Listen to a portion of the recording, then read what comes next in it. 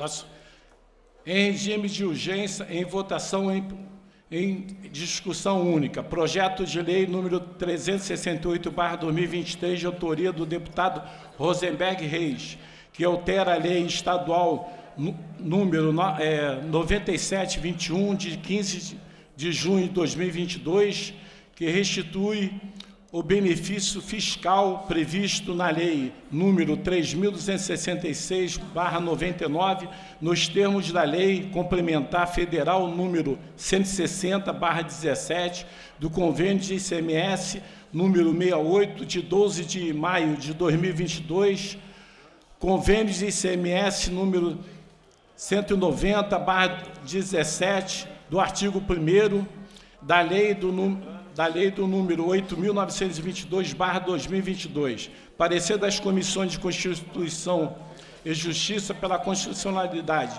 com emendas, concluindo por substitutivo. De Minas e Energia, favorável com substitutivo da Comissão de Constituição e Justiça. De Economia, Indústria e Comércio, favorável com a substitutiva substitutivo da Comissão de Constituição e Justiça de tributação, controle e arrecadação estadual de fiscalização dos tributos estaduais favorável, de orçamento, finança, fiscalização e controle favorável com o substitutivo da Comissão de Constituição e Justiça. Relatores, deputado Luiz Paulo, Tiago Rangel, Anderson Moraes, Luiz Paulo e Douglas Ruas. Pendente de parecer das, das comissões de Constituição e Justiça, de Minas e Energia, de Economia, Indústria e Comércio, de Tributação, Controle de Arrecadação Estadual e de Fiscalização dos Tributos Estaduais, e de Orçamento, Finança, Fiscalização Financeira e Controle. As emendas de plenário. Para emitir parecer pela Comissão de Justiça, Rodrigo Amorim. Doutor Serginho, Fred Pacheco, Filipinho Raves, Guilherme Delaroy. Opa, Filipinho Raves. Nosso, com a palavra, nosso novo deputado.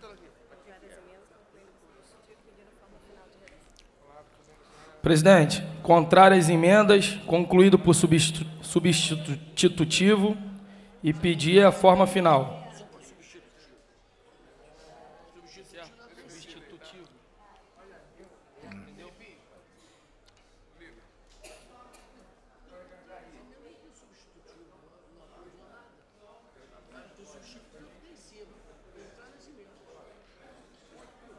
Presidente, presidente. Só um minuto, deputado Luiz Paulo. Seguinte, presidente. O processo do PL 3623, quando ele veio a plenário em primeira, eu dei o parecer pela constitucionalidade.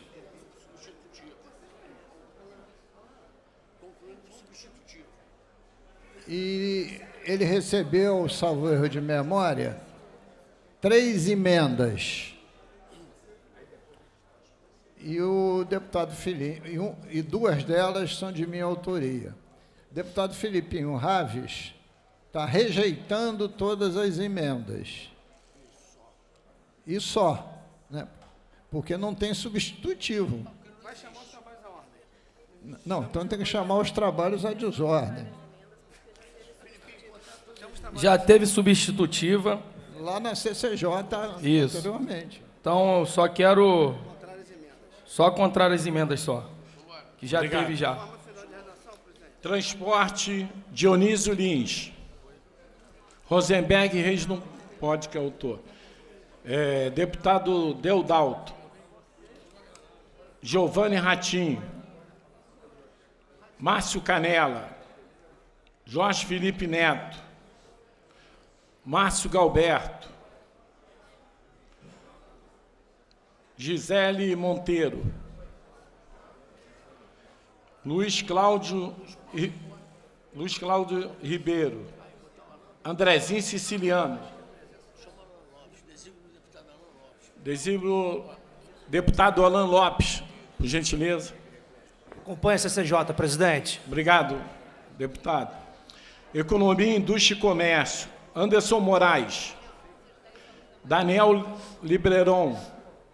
Célia Jordão. Felipe Soares. Dani Balbi. Tiago Rangel. Valdo Ceasa. Douglas Rua. Luiz Paulo. Ele é dono de emenda, não pode Luiz Paulo. Senhor presidente,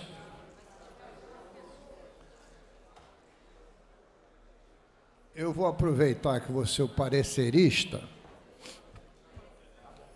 e já vou discutir o encaminhamento das minhas emendas. O Poder Executivo, antes, no semestre passado, ao apagar das luzes, o deputado Rosenberg Reis vai lembrar, mandou essa mensagem para essa casa, que recebeu diversas emendas e que se optou por um substitutivo. E esse substitutivo foi aprovado e posteriormente sancionado. O dispositivo do projeto do governo que respaldava o projeto na Constituição Federal, o inciso da Constituição em relação ao artigo principal saiu errado. Até inciso da Constituição se errou. Mas o projeto ficou sancionado. E aí, concomitantemente, começou a tramitar no Congresso Nacional a PEC da reforma tributária, PEC 45 de 2019. E esta PEC, na versão, deputado Rosenberg Reis, aprovada pela Câmara Federal, hoje no Senado, ela trata esse tema de forma muito mais ampla, muito mais ampla. Mas a PEC não está aprovada, ela está em tramitação. Hoje no Senado e vai, depois de passar no Senado, voltar à Câmara. Mas, além disso, o ICMS termina em 31 de dezembro de 2032. Então, uma das emendas que fiz foi exatamente para chamar a atenção. Se o senhor verificar, os benefícios fiscais concedidos pelo governo nas novas legislações que vêm a essa casa, eles só se estendem até 2032. Tá certo? Porque o ICMS, primeiro porque os benefícios eram para terminar em 2032 e depois porque o ICMS acaba. E o novo benefício que está sendo criado na Constituição Federal não é do ICMS, é do IBS, que é o somatório do ICMS com o ISS. Então eu tentei, na emenda,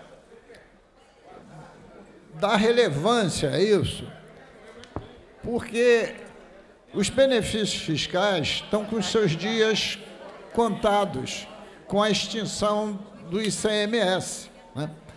Então é um esforço muito grande para algo que vai ser profundamente revisto.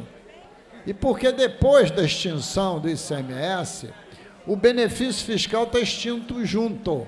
E só a União, só a União, vai poder tratar dessa matéria. Porque trata-se do IBS e tem um dispositivo na emenda constitucional para isso. Então, fiz as emendas no intuito de esclarecer para que o deputado Rosenberg Reis não considerasse que eu não faço com ele o que às vezes ele não, ele não faz comigo, pode fazer com outros. Bota lá no, no quadro o voto contrário. Né? Então, mediante as explicações, pela Comissão da Economia, que eu devo ser lá o, o terceiro suplente, Estou votando favoravelmente. Obrigado, meu nobre deputado. É, segurança pu... Não, peraí. Trabalho Legislativo Social, é, Dani Balbi. Não. Trabalho Legislativo. Você está aqui para você... Não. Não, pelo amor de Deus. Não. O senhor é o símbolo da capacidade religiosa. Desculpa aí. Economia, indústria e comércio. Eu já falei isso aqui, por isso que eu deixo Pelo amor de Deus, Vanessa.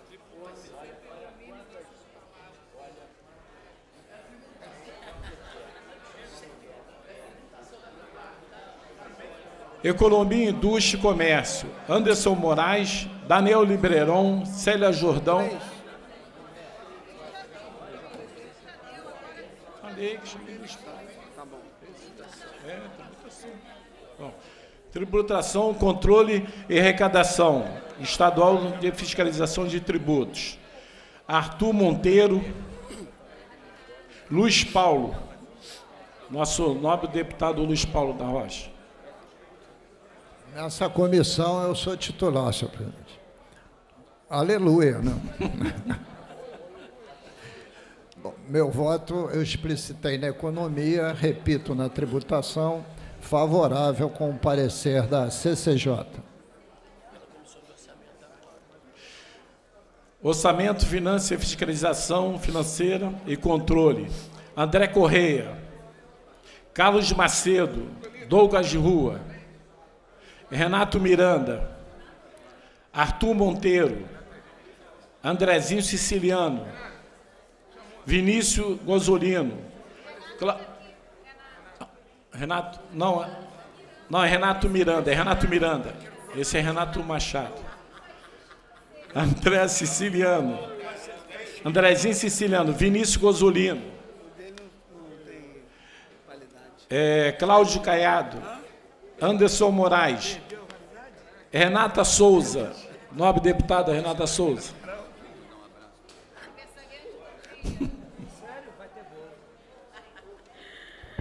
Senhor presidente, muito importante projeto do deputado Rosenberg Reis.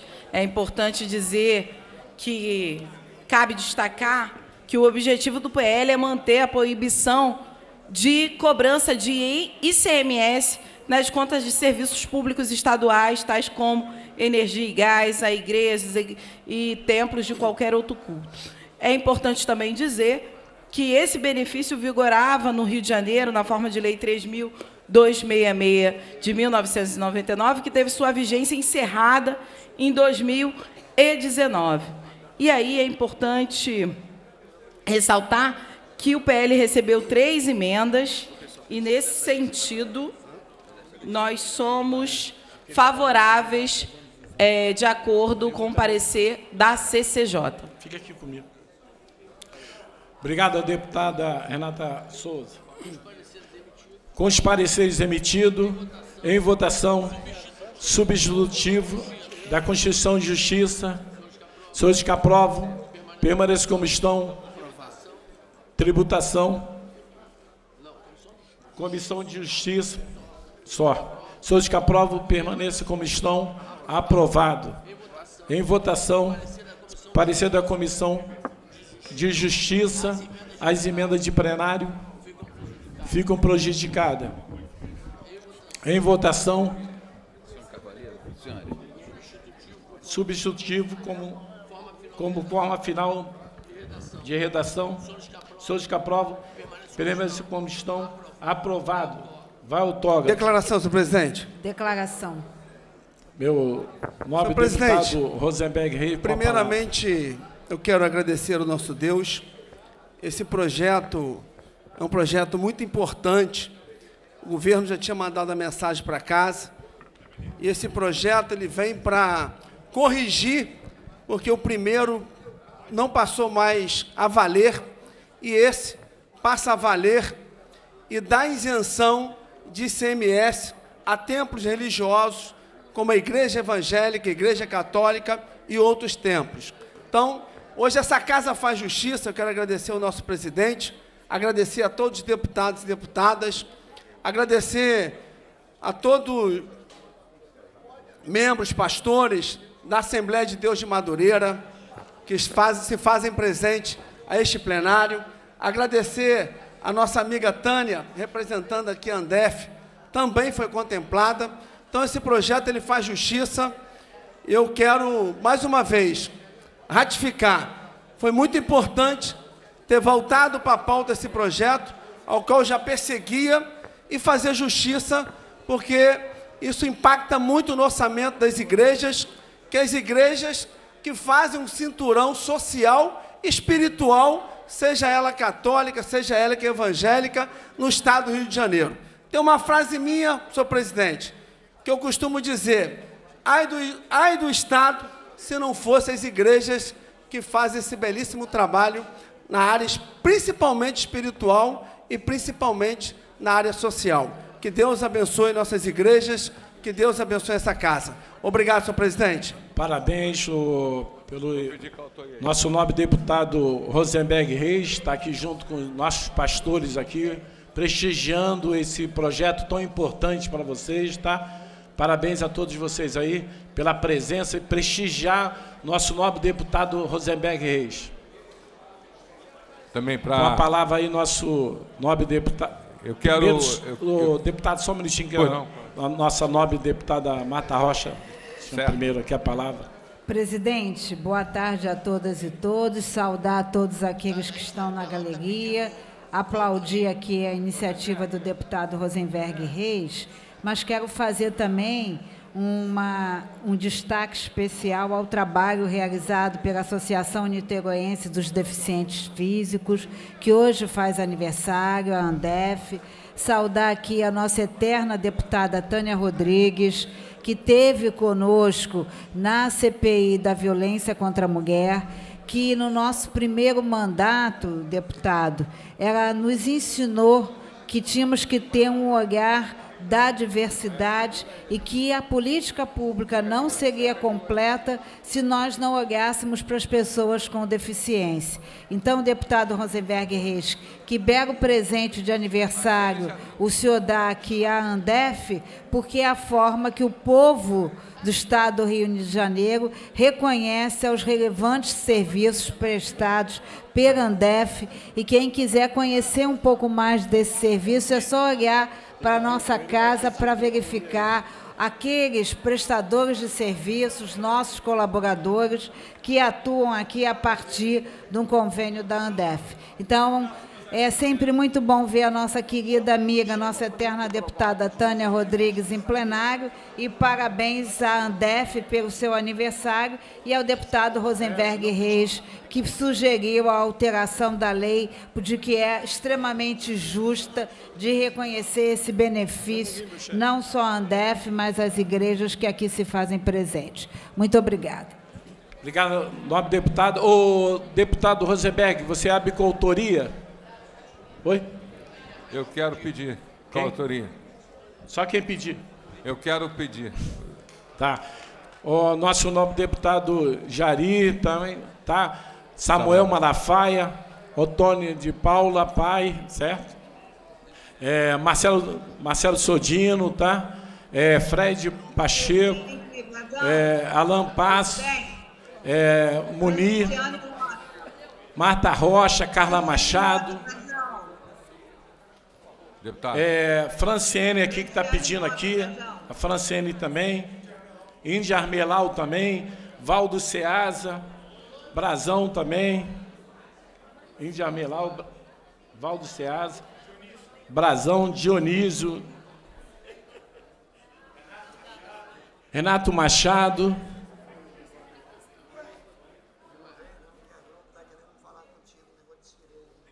Pela ordem. Pela ordem que o nosso nobre deputado Samuel Malafaia, com a palavra. Eu quero parabenizar o deputado Rosenberg Reis e também a todos que, ao longo do mandato passado, nós tivemos fazendo várias nuances desse projeto. Eu também tenho um projeto, tá certo, que foi feito antes dessa mensagem do governador, que eu cedi a coautoria para o deputado Rosenberg e para quantos quiseram. Por isso, não, não- eu estou me colocando aqui e agradecendo por- pelo deputado ter me considerado coautor, porque na realidade esse assunto não é um assunto novo, é um assunto que a gente vem trabalhando já há bastante tempo, coletivo e de interesse geral das igrejas e associações que estão ali arroladas e que tudo possa correr bem o governador certamente vai sancionar. Muito obrigado. Pela ordem, presidente. Eu quero só um minutinho dar os parabéns aqui pela nossa nobre deputada Renata Souza, está fazendo aniversário. Parabéns aí, muitos anos de vida, muita saúde, muita paz, sucesso. Obrigado.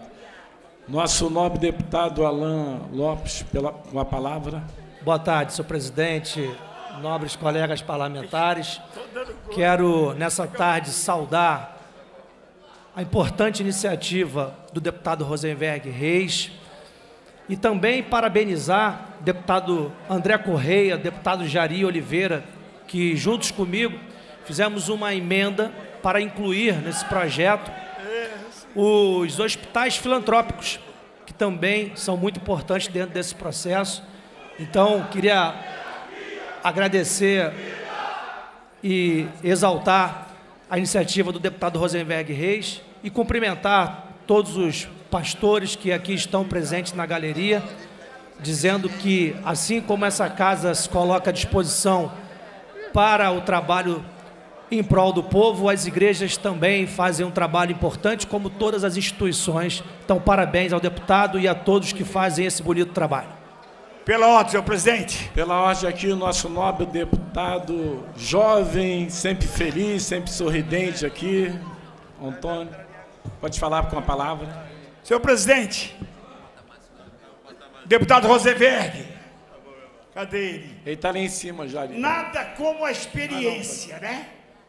E o senhor está exercendo a sua experiência de outros mandatos, de longos mandatos nesta casa, porque nós, deputado, há dias atrás votamos a mensagem do governador semelhante ao seu projeto, porém o senhor dando um corpo maior, um entendimento maior, e o senhor merece os nossos elogios, os aplausos e o fato de, de nos autorizar ser coautor do projeto de Vossa Excelência. Parabéns e queremos dar boas-vindas aos pastores evangélicos aqui presentes, que, através do bispo Abner Ferreira, autorizou os pastores estarem aqui para comemorar junto com a, essa casa legislativa, essa vitória das, das igrejas evangélicas, dos cultos religiosos,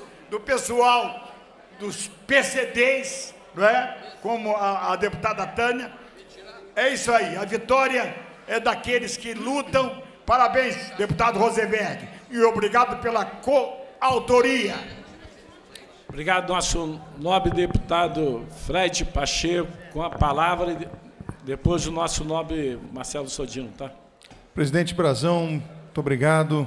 Muito bom vê-lo também nesta cadeira, presidente.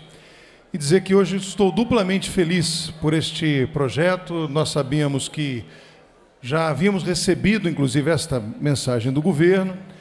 E este projeto, também de autoria do deputado Rosenberg Reis, que todos nós aqui, com muita alegria, pedimos a coautoria, inclusive, do projeto. Ele agora está mais amplo. Cito aqui, com, com toda a minha alegria, a Andef, que foi incluída também neste processo, para que também receba este benefício, esteja incluído neste rol.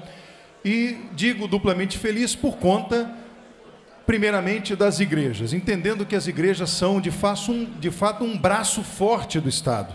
Em muitos momentos nós sabemos que o Estado não consegue é, dar conta de todas as demandas que o Estado de fato tem. E a igreja, tanto a igreja católica, no meu caso sou católico, sabem, todos sabem disso, e as igrejas evangélicas e de outros cultos também.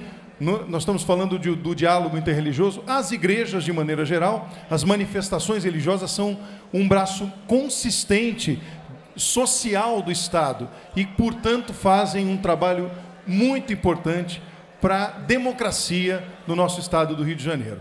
E de outra forma, e ainda talvez ainda mais feliz por ser hoje presidente da, da Comissão da Pessoa com Deficiência, nós sabemos que as instituições, as Pestalozes, as APAES, a Andef, estão hoje sendo extremamente beneficiadas com este benefício fiscal. Portanto, fico muito feliz em saber que esta população, as pessoas com deficiência, vão ter ainda mais caminhos para conseguir ter ainda mais zelo e cuidado do Estado. Então, mais uma vez, presidente, eu fico muito feliz de poder fazer parte desta história de alguma forma e saúdo não só este parlamento, mas o nosso governador Cláudio Castro pela iniciativa e também saudando o nosso deputado Rosenberg Reis. Muito obrigado. Parabéns, deputado Márcio Pacheco, pelas palavras. Isso aí, união. Nosso nobre deputado, irmão, companheiro, Marcelo Diano. Marcelo. Presidente Brazão, primeiramente eu quero aqui agradecer a Deus essa honra de poder, como cristão, como servo do Senhor, poder hoje estar colaborando com um projeto de lei maravilhoso como esse. Né? Parabenizo o deputado. Já tínhamos aqui votado a mensagem do governador falando praticamente isso. Hoje, abraçando nossos irmãos da Andef. Saúdo todos com a paz do Senhor, respeitando todos os demais, demais religiões, né? nossos irmãos católicos. E falar hoje do trabalho maravilhoso que as igrejas fazem. Você imagine hoje a quantidade de dependentes químicos que nós temos. E as igrejas fazem um trabalho sensacional. Então hoje, você isentar as igrejas, no momento de dificuldade como nós passamos pela pandemia, é de suma importância. Na realidade, é reparar erros do passado com quem tenta fazer o bem, sem qualquer lucro, sem qualquer vantagem, mas ajudando o próximo. Então, fica aqui meu apoio, meu agradecimento a todos os meus irmãos em Cristo, a todos aqueles que realmente lutam pela sociedade para que tenhamos um, um Estado e um mundo melhor. Obrigado, senhor presidente. Parabéns aí, meu nobre deputado Marcelo Sodino. Nossa nobre deputada com a palavra, Carla Machado, uma grande parlamentar, uma grande no executivo, em São João da Barra, uma cidade que está sendo é, uma transformação muito grande através do empenho das mulheres e, e, o seu empenho, né? Isso que é muito importante nessa cidade, ter um braço forte como a senhora lá em São João da Barra.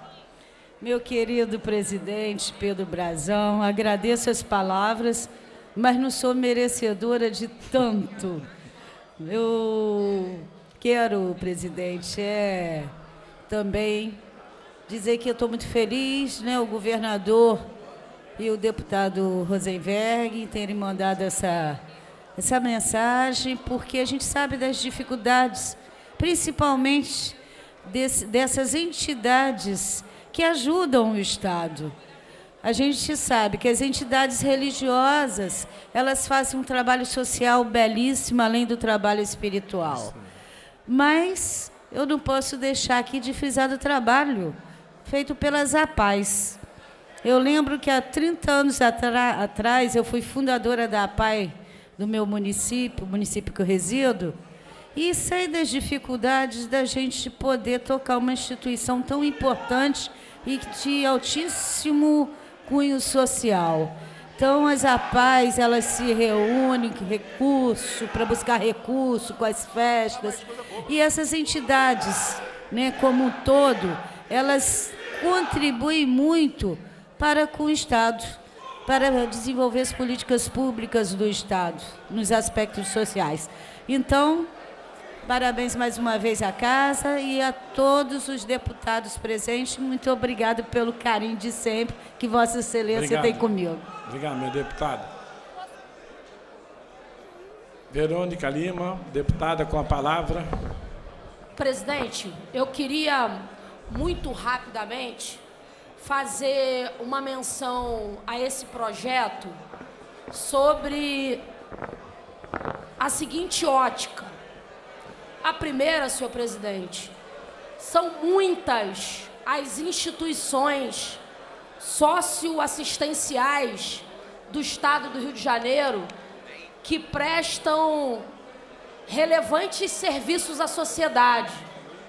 E eu queria aqui fazer menção a uma instituição especial que também vai ser beneficiada com esse projeto que a gente está votando aqui, que é a Andef. Eu sou lá de Niterói, fui vereadora em Niterói. A deputada Tânia também foi vereadora em Niterói, depois deputada estadual. E nós conhecemos o trabalho da Andef, um trabalho de acolhimento e mais do que acolhimento, um trabalho de dignidade para as pessoas com deficiência. Uma entidade precursora na recuperação, na integração e na cidadania plena dos deficientes no estado do Rio de Janeiro. E não é só a Andef. A gente tem aqui muitas instituições religiosas, mas para além dessas instituições religiosas, nós temos instituições socioassistenciais que ajudam na cobertura do acolhimento e dos programas socioassistenciais no estado do Rio de Janeiro, porque nós sabemos que a cobertura dos municípios do, do estado não é suficiente para fazer esse acolhimento. Então, na tarde de hoje, nós, deputados e deputadas, estamos fazendo justiça, porque é a possibilidade que essas instituições que fazem a diferença na vida daqueles que mais precisam têm de se recuperar, de ter um fôlego para continuar prestando serviço importante e relevante. E a gente vai encontrar instituições que prestam serviço para idoso, para criança e adolescente, para população em situação de rua, para mulheres, para pessoas com deficiência. E eu não poderia deixar aqui, como niteroense, como alguém que já foi eleitora da ex-deputada Tânia, que conhece o trabalho da Andef, de fazer aqui essa menção. A possibilidade da gente fazer com que essas instituições que fazem parte da rede de proteção socioassistencial do Estado do Rio de Janeiro possam se recuperar. Muito bem-vindo esse projeto na tarde de hoje, senhor presidente. Parabéns, Andef. Muito obrigado. Quero também a presença do nossa ex-deputada Tânia Rodrigues aqui, presente com a gente, do lado tá, da Verônica Lima aí, parabéns. Estou aqui também do meu lado, do meu nobre deputado Valdo Ceasa aqui com a gente. Tramita... em tramitação ordinária, em segunda discussão, redação do vencido, assim emendado. Projeto de lei 870, 2023, de autoria do deputada Dani Balbi, que institui a política estadual do emprego verde. Em discussão. Não há, em discussão, não havendo quem queira discutir, encerrada a discussão, em votação, vai emenda de redação.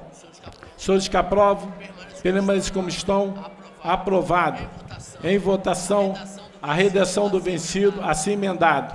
Senhores que aprovam, permaneçam como estão, aprovado. Vai autógrafo. Para a declaração, presidente. Para a declaração, nosso nobre deputado Carlos.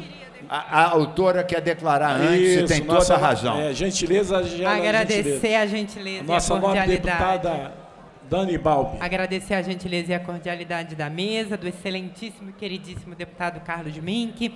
Queria principalmente agradecer ao coletivo popular é, especialmente ao coletivo de catadoras e catadores e também de ambientalistas que nos procuraram para rascunhar os termos desse projeto, que estiveram a todo momento conosco, elaborando. É um projeto que nasce do acúmulo de ambientalistas é, muito preocupados com a agenda climática para os próximos anos, preocupados com a necessidade de o Estado do Rio de Janeiro voltar a ser protagonista no sentido do reaquecimento da economia, da, do reaquecimento das bases industriais, portanto, gerando emprego, emprego de qualidade, emprego de altíssimo valor agregado, que remunere as famílias fluminenses, mas sem perder o horizonte da preocupação com a preservação dos nossos biomas, do meio ambiente, porque sem planeta nós não teremos vida. E nós que lutamos por uma vida justa, cuja bandeira máxima é a justiça social, temos que ter no nosso rol de lutas diárias a justiça climática. Então, muito obrigada a essa casa pela maturidade, pela votação. Agradecer ao Parlamento Fluminense como cidadão fluminense. Obrigada, presidente. Muito obrigado. Parabéns aí pelo projeto. Nosso nobre deputado com a palavra, Carlos Mink. Camarada presidente, Brazão, eu queria, me inscrevi aqui, eu já tinha discutido lá atrás, para elogiar e saudar a aprovação do projeto 870 desse ano, 23, da deputada Dani Balbi, uma deputada de primeiro mandato que está mostrando ao que veio, não só na área de denunciar, mas na área de propor, que é muito importante. E essa proposta, como disse a Dani, Dani Balbi, ela vem de um acúmulo do movimento social, do movimento das cooperativas, dos catadores que você mencionou, dos artesãos também, das cooperativas da agricultura familiar, com certeza. Está aqui a, a, a, a nossa deputada Marina do MST aplaudindo. Eu queria dizer, presidente Brazão, que muitas vezes se tem uma visão da ecologia como nós sendo os ecochatos de plantão. Os ecochatos de plantão. Entende? Não pode fazer isso, não pode pisar na grama, não pode tirar uma planta, não pode poluir. Mas ah, hoje em dia as pessoas estão com uma visão bem diferente. Né? A economia verde, né? a bioeconomia e os empregos verdes vêm daí, estão ligadas a você eh, aproveitar, por exemplo, a floresta em pé? A quantidade de pesquisa de produtos para saúde, farmacêuticos, vários tipos, né? É, cosméticos também, e também no saneamento, no ecoturismo. Então, esse projeto da deputada Dani Balbi, ela estipula o que, que seriam os empregos verdes. Os empregos verdes, segundo o projeto da Dani Balbi, ela defende aquele que economia, economiza energia, que usa produtos renováveis, que não polui, que agrega valor, que combate o consumo supérfluo, que aumenta a eficiência energética. Então, tem vários critérios. Estipula que tipo de apoio os governos e os fundos devem dar. Isso vai, deputada Dani, na linha do que o presidente do BNDES, o Mercadantes, tem falado de colocar fartos recursos para a bioeconomia para a economia verde. Vossa Excelência se antecipou aqui, colocando a Assembleia na linha do que se pretende: criar milhares de empregos, combatendo o desperdício, defendendo o clima, defendendo a biodiversidade, as nascentes, a saúde das pessoas, das mulheres, das crianças.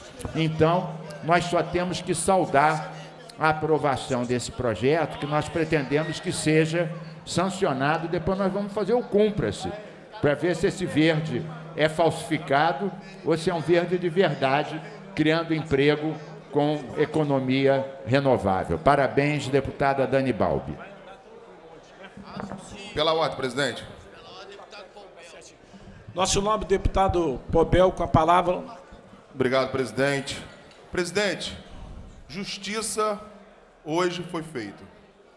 Recebi a mensagem do governador, sete horas da manhã, acatando o nosso pedido, cancelando a prova do concurso da PM. Denunciei ao Ministério Público na segunda-feira, pedi informações ao secretário da Polícia Militar e conversei com o governador em relação a isso. O que aconteceu foi uma verdadeira balbúrdia, não foi concurso, foi prova, foi uma verdadeira balbúrdia.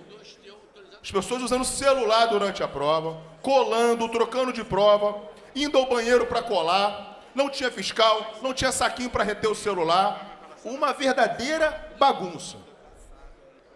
Pobel, algumas pessoas, muitas pessoas estudaram, concordo, estudaram, se abdicaram do seu tempo, se abdicaram de, de, de sair, de curtir muitas vezes sua família, para realizar um sonho que é estar na Polícia Militar do Estado do Rio de Janeiro. Mas eu tenho, eu tenho certeza que essas pessoas vão passar novamente. Agora, não dá para aceitar um concurso, deputado Marcelo Sodino, voltado para a polícia, para ser policial, as pessoas já tentaram entrar de forma fraudulenta. Que policiais nós vamos ter? Se no concurso já comete fraude para entrar a instituição, que policiais nós vamos ter no futuro? Eu sei que no mundo ideal, no mundo ideal, o que seria mais justo era punir somente aqueles que fraudaram. Perfeito. Mas num horizonte de 120 mil inscritos um concurso de 2 mil vagas, é humanamente impossível você identificar os fraudadores. Até porque teve fraude em todos os lugares. Nós não estamos aqui penalizando aqueles que passaram, pelo contrário, nós estamos defendendo a instituição e defendendo aqueles que se dedicam para estudar. Então fica aqui o meu agradecimento ao governador do estado do Rio de Janeiro, parabéns pela sua atitude. Nós temos que ter pessoas honradas nas nossas instituições de segurança do estado do Rio de Janeiro. É inaceitável adentrar a instituição Polícia Militar do Estado do Rio de Janeiro com fraude. E, presidente, aproveitando aqui que o parlamento está cheio, eu queria pedir uma atenção máxima de Vossa Excelência e pedir ao presidente da CCJ, ao, preside ao presidente da comissão de esporte para realizarmos uma audiência pública o quanto antes para debatermos a covardia que está acontecendo com o Clube de Regata Vasco da Gama. É uma covardia o que está acontecendo com o Clube de Regata Vasco da Gama. Não é porque eu sou vascaíno que eu estou falando isso aqui não, deputada Mata Rocha. Porque essa covardia podia acontecer com qualquer clube do estado do Rio de Janeiro. Nós sabemos, nós sabemos que ao entorno do Vasco, ao entorno do São Januário, existe comércio, existe ambulante, existem pessoas que alimentam sua família com jogos que acontecem em São Januário. E o parecer do magistrado foi muito estranho. A começar, e aí eu convoco os defensores da minoria. Presidente, deputado, me dá só uma parte, Sim. por favor. É só para dizer aqui que logo quando a questão da interdição de São Januário aconteceu, o deputado Alain Lopes, eu e a deputada Dani Monteiro fizemos um ofício à Comissão de Esportes pedindo a realização de uma audiência pública e elencamos todas aquelas personalidades que eram necessárias estar presentes. E o deputado Carlinhos BNH já aprovou e já determinou a realização dessa audiência, deputado Carlinhos BNH, que preside a Comissão de Esportes, no próximo dia 11, às 10 horas da manhã. Então, atenção vascaínos, inclusive o senhor, porque eu sou vascaína também, Quero dizer também que somaram nessas assinaturas o deputado Gael Vieira, o deputado Tande e o deputado Douglas Ruas. Acabamos de conversar aqui com o deputado Valdo Ceasa, Vossa Excelência também será um subscritor desse pedido. Então, no, Marcelo Dino. Me incluo também, deputado. Não, não sabia, não. Só está aberta a assinatura para os vascaínos. que Dep- isso? Isso é discriminação. É uma discriminação do bem, concorda? É uma discriminação do bem. Deputada, me inclua também. Tô brincando. E- claro que todos. né? pra- então, só- aqui, pela ordem dos vascaínos, né? Também deputado Poubel, deputado Valdo Ceasa, que nos procurou hoje, deputado Marcelo Dino, deputada Verônica Costa, Lima, ai, perdão, perdão, que foi autora da PL da data histórica, né? Então, todos estão chamados para participar no próximo dia 11, às 10 horas, a audiência pública que será na comissão, na comissão de esportes, não tá? E hoje o nosso mandato está lá em São Januário para discutir com a organização Fui do convidado. Vasco, porque é verdade que essa decisão foi uma decisão preconceituosa e a gente tem que saudar e aqui abraçar a presidente da Associação de Moradores da Barreira do Vasco, que mostrou o quanto essa interdição atrapalha a, a economia local. E isso tem, inclusive, um trabalho do secretário municipal de trabalho, Everton Gomes, que faz, que demonstra isso, o impacto à economia local com a suspensão dos jogos no São Januário. Obrigada, então vamos deputado. Eu que agradeço- eu que agradeço. Só- só um vamos- segundo Só um por só pra concluir, gentileza. presidente. Vamos aproveitar essas energias todas positivas de vocês e vamos guardar para a CPI, que nós temos Não, que não é andar CPI, não, é audiência projetos. pública, presidente. Só para concluir aqui, porque eu cedi a parte a deputada Marta Rocha, né?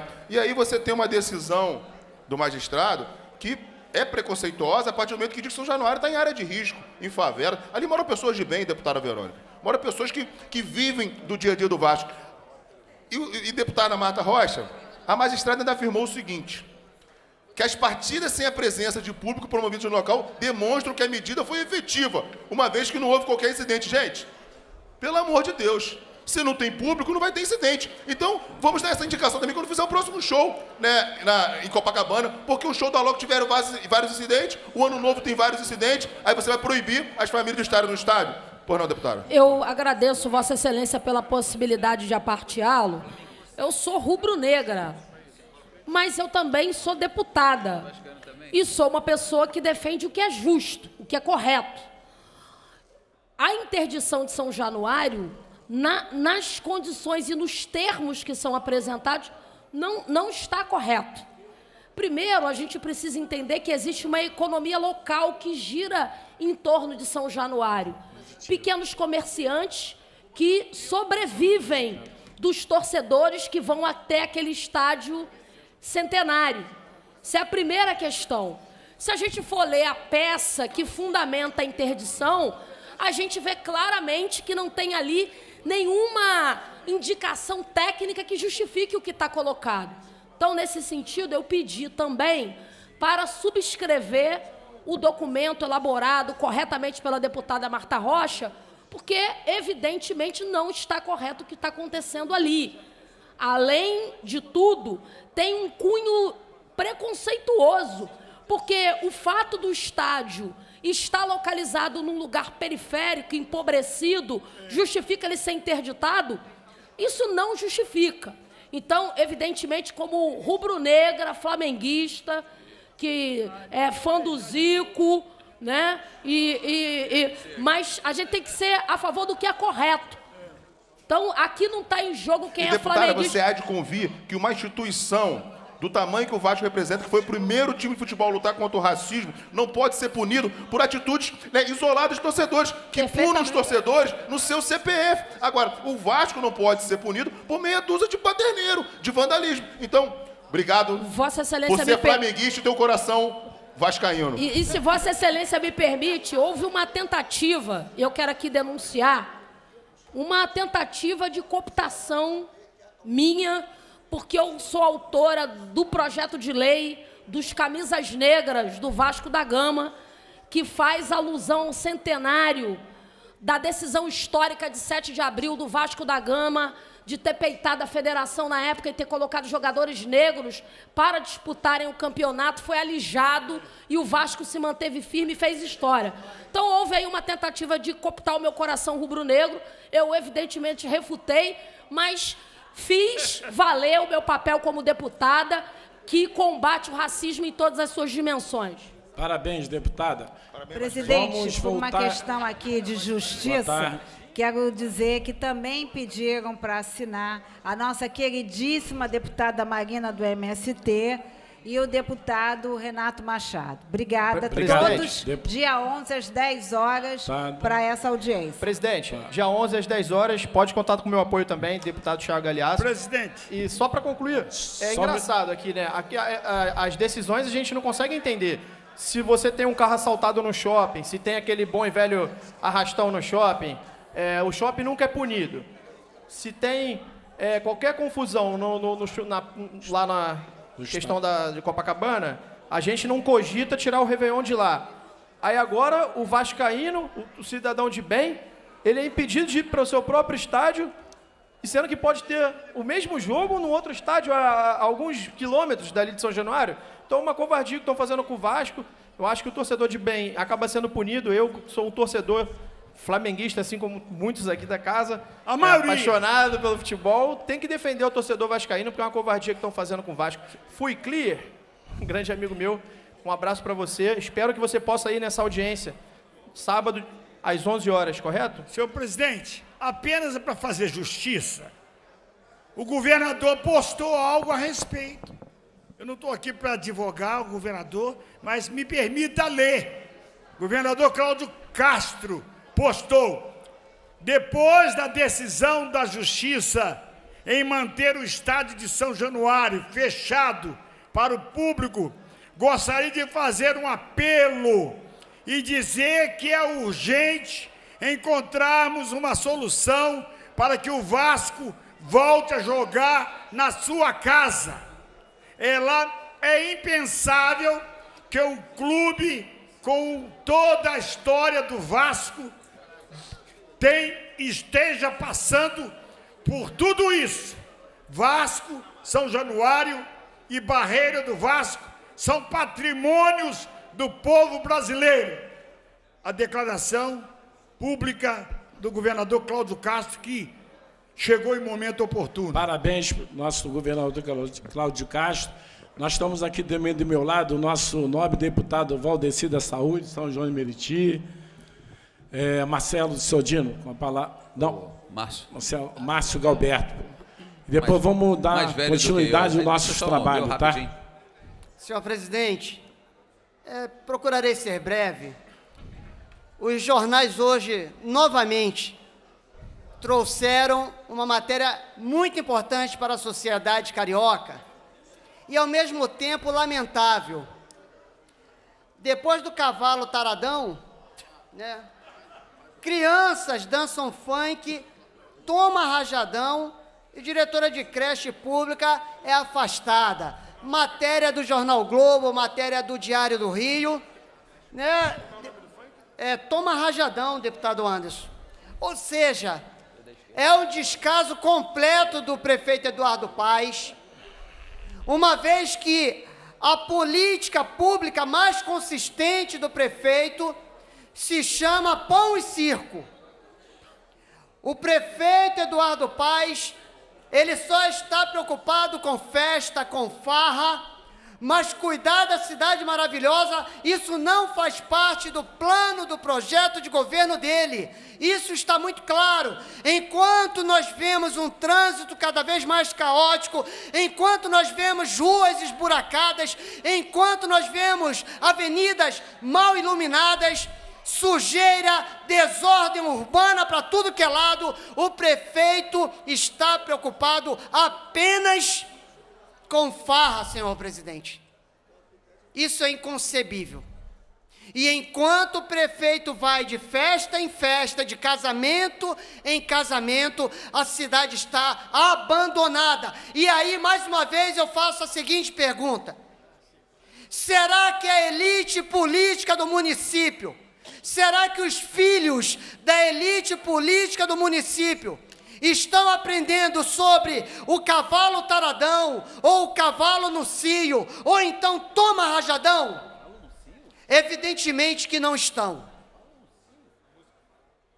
Os filhos da elite política da Prefeitura do Rio de Janeiro estão estudando nos melhores colégios e estão aprendendo inglês, francês, italiano, português, matemática, química, física, biologia e por aí vai.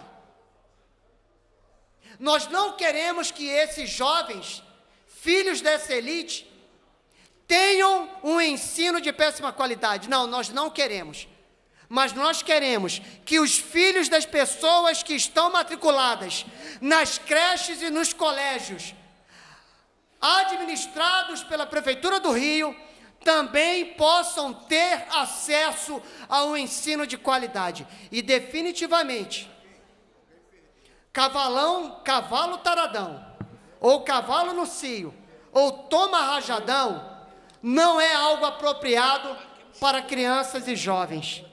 Não é. O prefeito está desnorteado. Desnorteado. E outra coisa, é covardia também dele jogar a culpa neste momento nos diretores, nos professores, é covardia dele. Ele deveria assumir a responsabilidade e parar de pensar em eleição e cuidar do Rio de Janeiro porque isso já deveria ter sido feito há muito tempo. Muito obrigado, senhor presidente. Obrigado, meu nobre deputado. Pegando o gancho aí do, do nobre, Roberto. de- nobre deputado, então está na hora, Márcio, de botar câmeras também nas escolas, né? Já que cobram tanto câmeras dos policiais, já que estamos falando de criança, vamos botar câmera também. Presidente, pela ordem, eu quero só aqui agradecer ao governador Cláudio Castro pela atitude de cancelar essa primeira etapa do concurso da Polícia Militar. Sabemos da importância, eu que sou policial militar, defendo muito a segurança pública. Sabemos da importância de ter policiais qualificados, pessoas que vão entrar de forma lícita dentro desse processo, mas também chamar a atenção é, com relação a não prejudicar nenhum tipo de candidato. Entrando agora aqui na LERJ, fui abordado por um amigo do Noroeste Fluminense questionando com relação à idade para que não mexa realmente nessa questão e dê continuidade para que todos os candidatos possam realmente fazer a prova no- novamente e realmente retirar aqueles que tentaram entrar de forma fraudulenta. Aqueles que realmente já alcançaram é, uma nota para poder ingressar na corporação, que ainda tem que fazer uma avaliação lá, são 120 mil inscritos, para 2 mil vagas, sabemos que vai ser bem alto, é importante a lisura e a transparência. E é dessa forma como está sendo feito, é que nós temos que fazermos aqui. Eu tinha pedido uma audiência para responsabilizarmos a banca, isso é muito importante. O valor que foi é, arrecadado altíssimo e nós temos que começarmos a fazer bem diferente e penalizar com relação a essas pessoas, para não termos mais uma vez um embrólio como tivemos no concurso de 2014, que, que ainda não, não terminou essa novela. E trazendo lisura e transparência, cancelando essa primeira etapa, fazendo um novo, uma nova primeira etapa, eu tenho certeza que nós vamos evitar muitos problemas futuros, senhor presidente. Então, 2014 é outra coisa que nós precisamos de uma solução, porque nós somos cobrados constantemente com relação a isso. E com relação ao Vasco, quero me colocar à disposição também, acho uma injustiça muito grande, mesmo sendo tricolor. Sabemos o momento em que o, que o clube pa passa e sabemos que o 12 jogador é muito importante, que é a torcida, e a torcida quer estar ali. É uma coisa que às vezes as pessoas, seja rico ou seja pessoa que não tem um poder aquisitivo, gosta de estar presente. Então eu quero dizer que estarei junto para lutarmos por isso. Obrigado, Obrigado senhor presidente. Nome, deputado. Pela ordem, Serafim, Seja breve. seja breve, tá? Para a gente. Obrigado, Presidente, chefe. Vossa Excelência me ouve? Tem alguém falando aí no. Tem alguém falando aí no, no online. Tem alguém falando aí no online. Oi, É, Presidente, é Célia Oi. Jordão, boa tarde. Célia Jordão. Na hora que eu puder falar pela ordem, senhor me autoriza, por favor. Tá bom. Obrigado, Célia Jordão. Só um minuto. Só atra- após o Serafim aqui. Presidente, quero me somar aqui aos demais deputados e rapidamente me solidarizar com o Clube Regatas Vasco da Gama e com todos os moradores daquela região da Barreira do Vasco. A gente tem acompanhado com certo estarrecimento eh, essas decisões que têm, de alguma forma, tratado eh, o Estádio São Januário e, principalmente, a sua população do entorno de uma forma até discriminatória não dá para considerar que um estádio, que é o estádio que recebeu os discursos de Getúlio Vargas, que foi durante muito tempo o maior estádio do Brasil, que nunca deixou de receber jogos de futebol, de uma hora para outra vai se tornar um estádio inviável. Isso seria o fracasso completo de toda a nossa política de segurança pública, que eu acho que é muito ruim, critico muito, mas não estamos ainda a ponto de impedir um evento num estádio com a tradição dos usos de São Januário. Então, como flamenguista que sou, quero me somar aqui aos demais deputados, me solidarizar a essa luta para que não haja discriminação nem com o estádio de São Januário, nem com a população da Barreira do Vasco e de toda aquela região. Parabéns. Com a palavra aqui, nossa nobre deputada Célia, e depois continuamos o nosso. Eu- não, agora eu quero falar, senhor presidente, por favor. Eu sou filho de Deus também. Nós somos. Eu não disse que, eu não disse Muito que o senhor- rapidamente, eu não disse que o senhor não é. Agradecendo. Agradeço. Posso usar a palavra, presidente?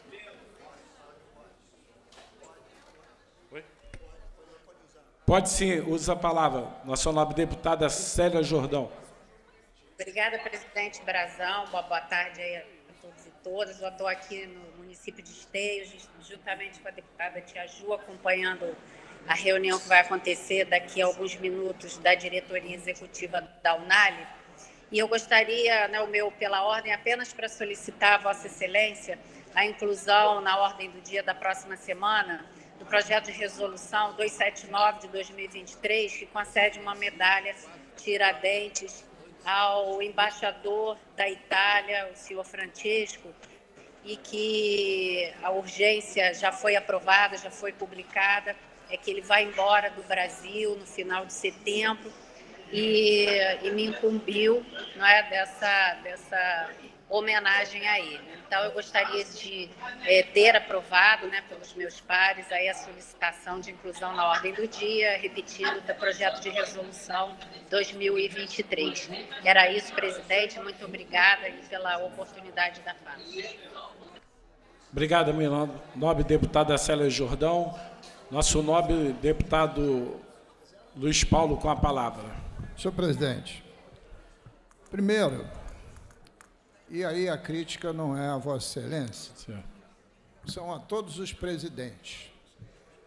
Procurar fazer cumprir o regimento interno. O expediente inicial abre às 14 horas, o deputado Valda Ceasa tem sempre presidido. Você vem aqui, fala 10 minutos sobre o que quiser. No expediente final também. Na ordem do dia, as falas têm que ser sobre a ordem do dia. É claro que o deputado pode fazer uma comunicação. Comunicação é, pum, estou solidário ao Clube de Regatas Vascos da Gama. Não podemos discriminar o estádio de São Januário. Já dei meu apoio, acabou. Porque senão, senhor presidente, nós estamos 16 horas e 3 minutos. Todo mundo construiu as suas agendas. Nós estamos no segundo projeto em pauta ainda. E volto a dizer, não é questão do senhor. Todas as sessões têm sido assim. Então está virando norma. Ninguém vem falar no expediente inicial, porque todo mundo fala na ordem do dia. E daqui a pouco, senhor vai ver, vão ficar aqui os mesmos votando os projetos que ainda faltam. Porque o resto chegou aqui, deu a sua mensagem para o seu público-alvo e foi embora. Então, senhor, senhor presidente, o que eu reivindico de Vossa Excelência e de todos que presidem é cumprir o regimento, regimento interno. interno. Muito obrigado, senhor. Obrigado.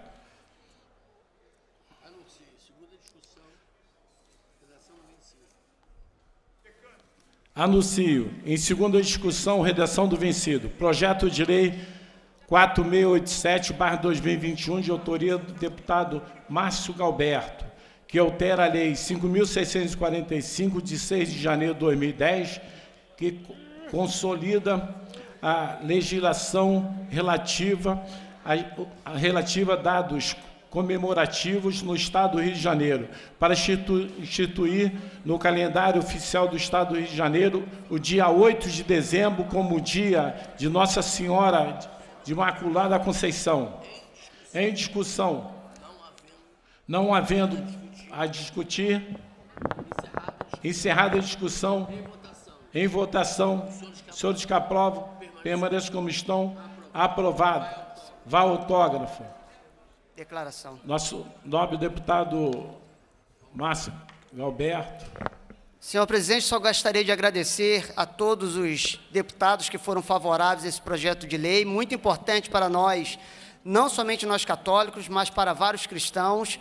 Então, nesse dia, no dia 8 de dezembro, nós vamos comemorar essa data importantíssima, que é o dia de Nossa Senhora da Imaculada Conceição. Então, muito obrigado a todos aqueles que entenderam a importância desse projeto para todo o Estado do Rio de Janeiro. Obrigado. Projeto de Lei 4865-2021, de autoria do deputado Brazão, que dispõe sobre a, o desconto de 25% do valor do IPVA das motociclistas que postarem equipamento de microcâmara registrados no certificado de registro de licenciamento de veículo, na forma que menciono. É em discussão. Não havendo quem queira, queira discutir, encerrada a discussão, em votação, senhores que aprovam, permaneçam como estão, aprovado. Vai o autógrafo. Abstenção da bancada do pessoal, senhor presidente.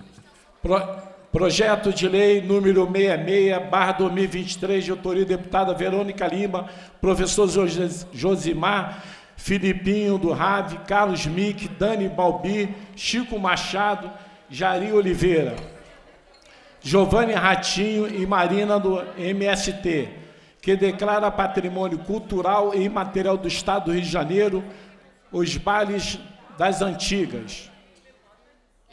Em discussão, não havendo com quem queira discutir, encerrada a discussão. Em votação, senhores que aprovam, permaneçam como estão, aprovado. Vai autógrafo. Com a palavra, nossa Verônica Lima. Senhor presidente, queria, em primeiro lugar, agradecer a todos os colegas por onde o nosso PL passou, ganhou parecer favorável. Falar muito rapidamente que, como presidenta da Comissão de Cultura da Assembleia Legislativa, a gente está apresentando uma série de proposições que vão na direção dos movimentos culturais aqui do Estado do Rio de Janeiro. Durante a década de 90, a década de 80, o funk foi muito discriminado. E esse movimento, que é o movimento do baile funk das antigas, ele é um movimento que ressignificou o que é o funk para as comunidades periféricas e para os fazedores de cultura desse segmento tão importante. Muito importante a gente dizer que o funk das antigas preconiza algumas questões que para nós são muito caras. Primeiro, não ter letras, não é, que sejam pejorativas à figura das mulheres. O funk das antigas preconiza a gente curtir o nosso baile das antigas em família, num horário que seja estabelecido e pactuado com o poder público. É isso que o movimento funk das antigas preconiza. Por isso que fazer desse movimento um patrimônio imaterial do Estado do Rio de Janeiro é, na tarde de hoje, algo muito importante para a cultura e para o movimento popular e cultural e periférico do nosso Estado. Obrigado, presidente. Obrigado, deputada. Projeto. Ah, Oi, Renata. Posso declarar, senhor presidente? Pode sim. Muito Renata. rápido, só para é, parabenizar a, a, Ver- a Verônica Lima, deputada, que apresentou é, a declaração de patrimônio cultural e imaterial, os bailes da antiga. Lembrar aqui e fazer uma homenagem ao MC Marcinho, que nos deixou essa semana, e o quanto que ele fez parte desse processo dos bailes da antiga, com músicas que falam de amor, que falam de cuidado, que falam da realidade das favelas e das periferias. Então, quero parabenizar a deputada Verônica Lima pelo excelente projeto e também me irmanar aí na solidariedade aos familiares e amigos do MC Marcinho e colocar aqui o quanto que é importante que o nosso príncipe é, do funk seja homenageado e seja é, valorizado. E pedir, deputada é, Verônica Lima, se eu posso também ser coautora, afinal de contas, fugi muito para o baile funk, no baile das antigas, lá na Maré, e tenho orgulho da minha história. Não só pode, como deve ser coautora. E queria pedir, na questão aí da redação final, porque é baile funk das antigas. Só para fazer essa correção aí na redação final, tá? Perfeito. Obrigada. Obrigada, presidente. Presidente, uma questão de ordem, só para estender às e aos deputados que quiserem a coautoria do projeto de lei número 870-A de 2023, o deputado Flávio Serafini solicitou, eu prontamente atendi, mas estenda aquelas e aqueles que quiserem. Eu quero. Obrigado aí. É, nosso nobre deputado Márcio Galberto abriu, abriu também com autoria para o projeto dele 4687, tá? Valdo Ceasa, Brazão. Valdeci da Saúde. Alguém quer mais? Vamos lá. Projeto de Lei 1559, barra 2019, de autoria do nosso nobre presidente Rodrigo Bacelar, que torna obrigatória a prestação de colaboração a estabelecimento público de educação básica pelos benefícios de bolsa de bolsa de estudo. Questão Parecer das comissões de Constituição e Justiça pela constitucionalidade, com emendas de educação favorável com emendas, de assuntos municipal, desenvolvimento regional favorável, de orçamento, finança, fiscalização e controle favorável, com as emendas da Comissão de Constituição e Justiça. Relatores, deputado Márcio Pacheco, Flávio Serafim, Renato Machado e Douglas Ruas. Questão de ordem, presidente. Questão de Presidente, ordem, nossa eu queria é, pedir para que a Comissão de Ciência e Tecnologia fosse designada para exarar parecer também, já que é uma pauta que fala sobre universidade, ciência e tecnologia, eu acho importante passar pela comissão. Obrigada. Obrigado.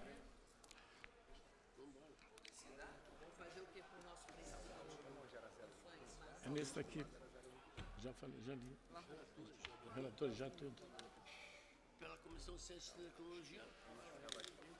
papel. Não, tá pegando, tá trazendo lá, tá esperando a senhora lá. A madame lá achar. Hum. Madame.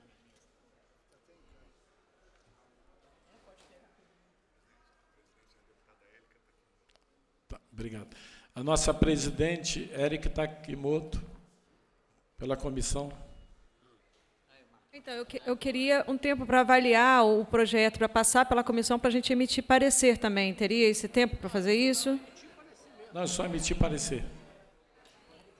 A senhora emitir fa parecer favorável? O parecer é favorável. Favorável. Ok, Obrigado, obrigada. deputado. Em discussão. Eu queria discutir, presidente. Nove. Não, não, vou deixar votar e Deixa faço a declaração. só terminar. Eu queria, eu queria só pontuar, discutir. Obrigado. É, eu queria dizer que o projeto, é, o projeto de lei número 1559/2019, né, que fala a- sobre a obrigatoriedade da prestação de colaboração é, a estabelecimento público de educação básica, é um projeto muito meritório. Né, fico, fico muito feliz de ter analisado também mas eu fiz uma emenda que eu acho que pode contribuir. E a emenda é no sentido, já queria colocar aqui, né, é no sentido de retirar é, é, os alunos cotistas dessa, de- de- dessa questão aí. Por conta é, que um histórico do- dos alunos cotistas, que já vem muitas vezes, são os primeiros a entrar na universidade, é, são alunos que já vêm com muita dificuldade de trabalho, de luta, já têm um já carregam um peso da injustiça social, então colocar mais essa obrigatoriedade para eles, eu achei que seria um peso muito grande e dá muito bem para retirar os alunos cotistas dessa obrigatoriedade. Obrigada, presidente, era isso que eu queria pontuar. Para discutir, presidente. Presidente, muito. Para discutir nossa nobre deputada Verônica Lima. Presidente, eu queria muito rapidamente falar duas coisas assim que eu penso de verdade. Não gosto de votar contra a PL de nenhum colega, a não ser que vá totalmente contra meus princípios e tal, e não farei aqui nesse caso. Mas eu queria fazer algumas ponderações que eu acho que são razoáveis, para me somar aqui a minha colega Élica Takemoto. Primeiro, a gente compreender que um estudante que ganha algum tipo de bolsa, de auxílio, quando isso ocorre, tem toda uma verificação da vida, do cotidiano, da realidade daquele estudante. O estudante que ganha a bolsa ou que ganha auxílio, isso só ocorre porque, de fato, aquela pessoa precisa, aquela pessoa necessita daquela ajuda e daquele auxílio. Qual foi, assim, a parte do projeto que eu não achei muito bacana?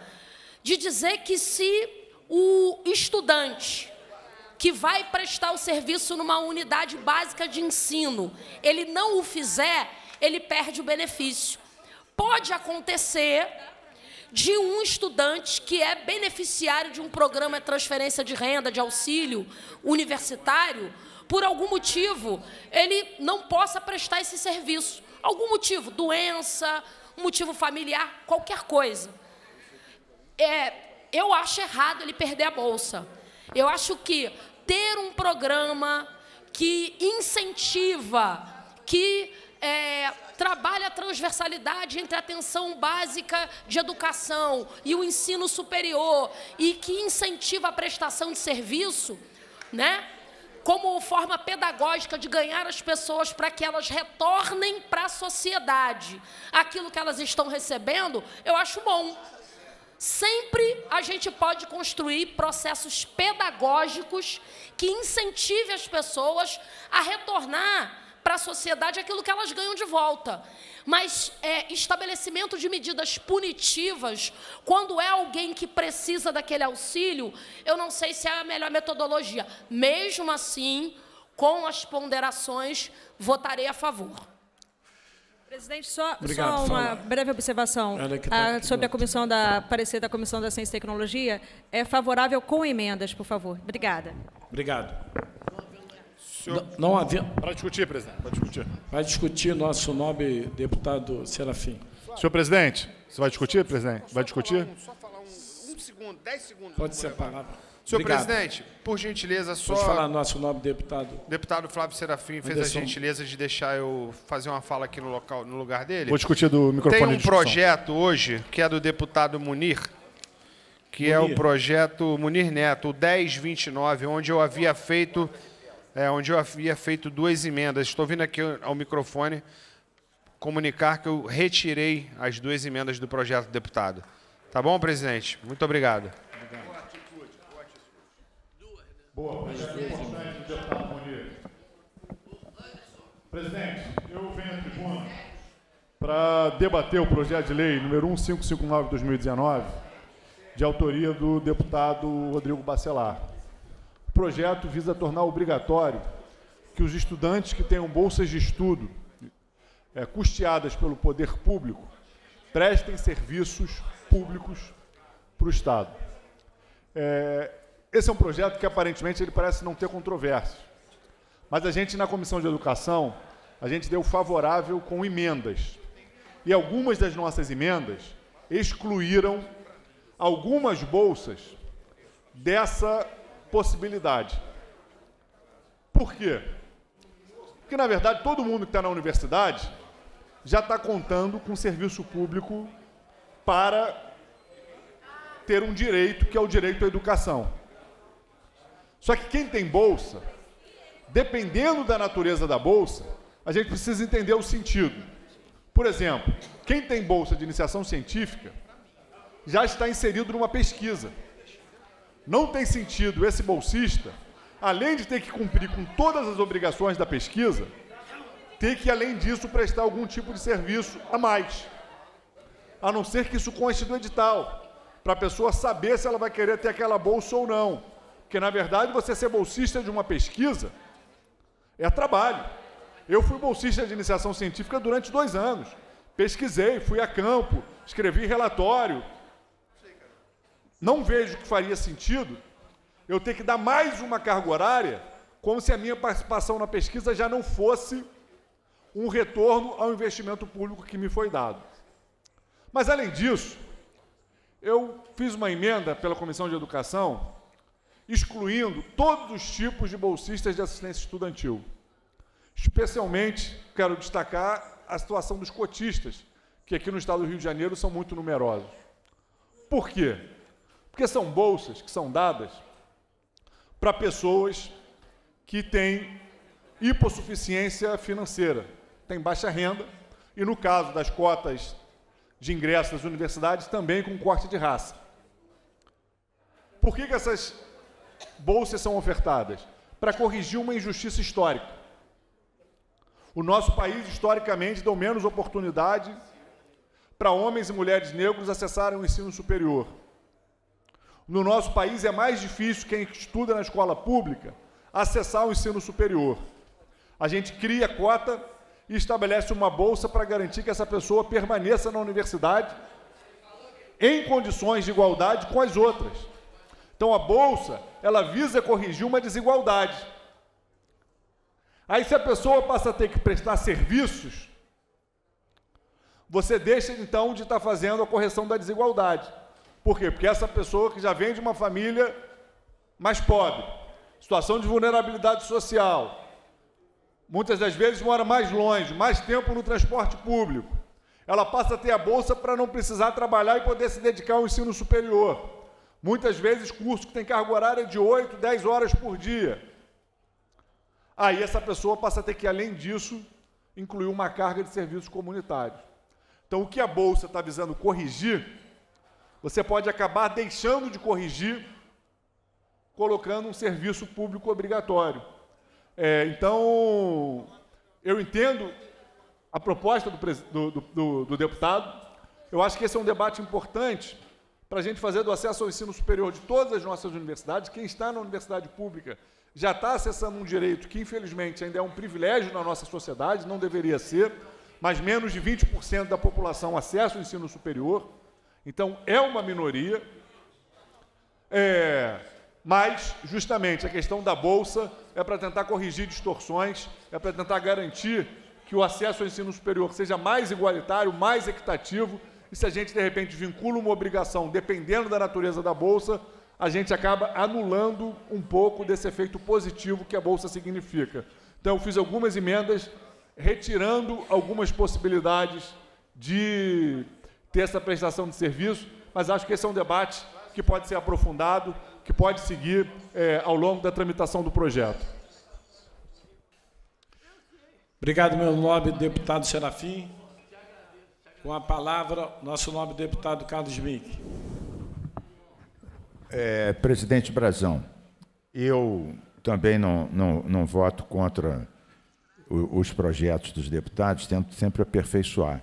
E ouvi, ouvi várias é, intervenções aqui dos colegas né, preocupados com isso. Né, deputada Verônica, deputado Serafine, deputada Élica. Eu quero dizer o seguinte: eu sou autor da lei que estabeleceu a Bolsa para os cotistas. Então, conheço bem, supostamente, conheço bem esse assunto. É verdade, deputada Renata? Devo conhecer, né, já que eu fiz a lei. E essa lei é muito clara. Ela determina contrapartidas. Por exemplo, o estudante, para manter a bolsa, tem que mostrar o seu aproveitamento. Tem que mostrar o seu aproveitamento. É o mínimo. Aliás, a gente está fazendo o melhor investimento de todos. Todo mundo aqui vota isenção para tudo que é indústria. Eu acho que o melhor investimento é investir na educação da juventude. E como é que você vai botar um estudante, por exemplo, cotista, e sem ter um recurso para comprar um livro de medicina? Está aos olhos da cara. Um livro de engenharia. Então ele tem que ter, no mínimo, igualdade com os outros para poder fazer o curso. Não é verdade, deputada Verônica? Então, quanto à questão da contrapartida, eu entendo que isso deva, deva ser de, de forma mais ampla. Por exemplo, deputado Serafini, eu acho que as empresas que recebem subsídios, e não são poucas, deveriam ter uma contrapartida para a sociedade. Não é verdade? Contrapartida ambiental, contrapartida social. Empregar, por exemplo, estudantes cotistas que concluíssem os cursos, não, é? não seria verdade isso? Uma boa, uma boa contrapartida para empresas químicas, automobilísticas ou de software que recebessem esses incentivos. Então, eu sempre acho, eu sou professor da UFRJ. Eu, eu sempre converso com, com meus colegas, deputada Marina do MST, Vossa Excelência conhece bem a UFRJ, aliás, tem muitos amigos e eleitores também na UFRJ. Também foi aluna. Eu sempre, quando vou lá, eu chamo a atenção dos professores, pesquisadores e bolsistas, dizendo que eles não podem fazer seus estudos para citar em tese de mestrado e doutorado. Tem que devolver para a sociedade, sobre a forma de programas de educação, de saneamento, de meio ambiente, tudo, aquilo que a sociedade investiu nesses é, professores, pesquisadores. A deputada Érica Taquimô também é professora, sistema é, dos institutos federais, conhece bem isso. Nós puxamos por esse lado. A universidade pública e gratuita tem que pedir mesmo essa contrapartida.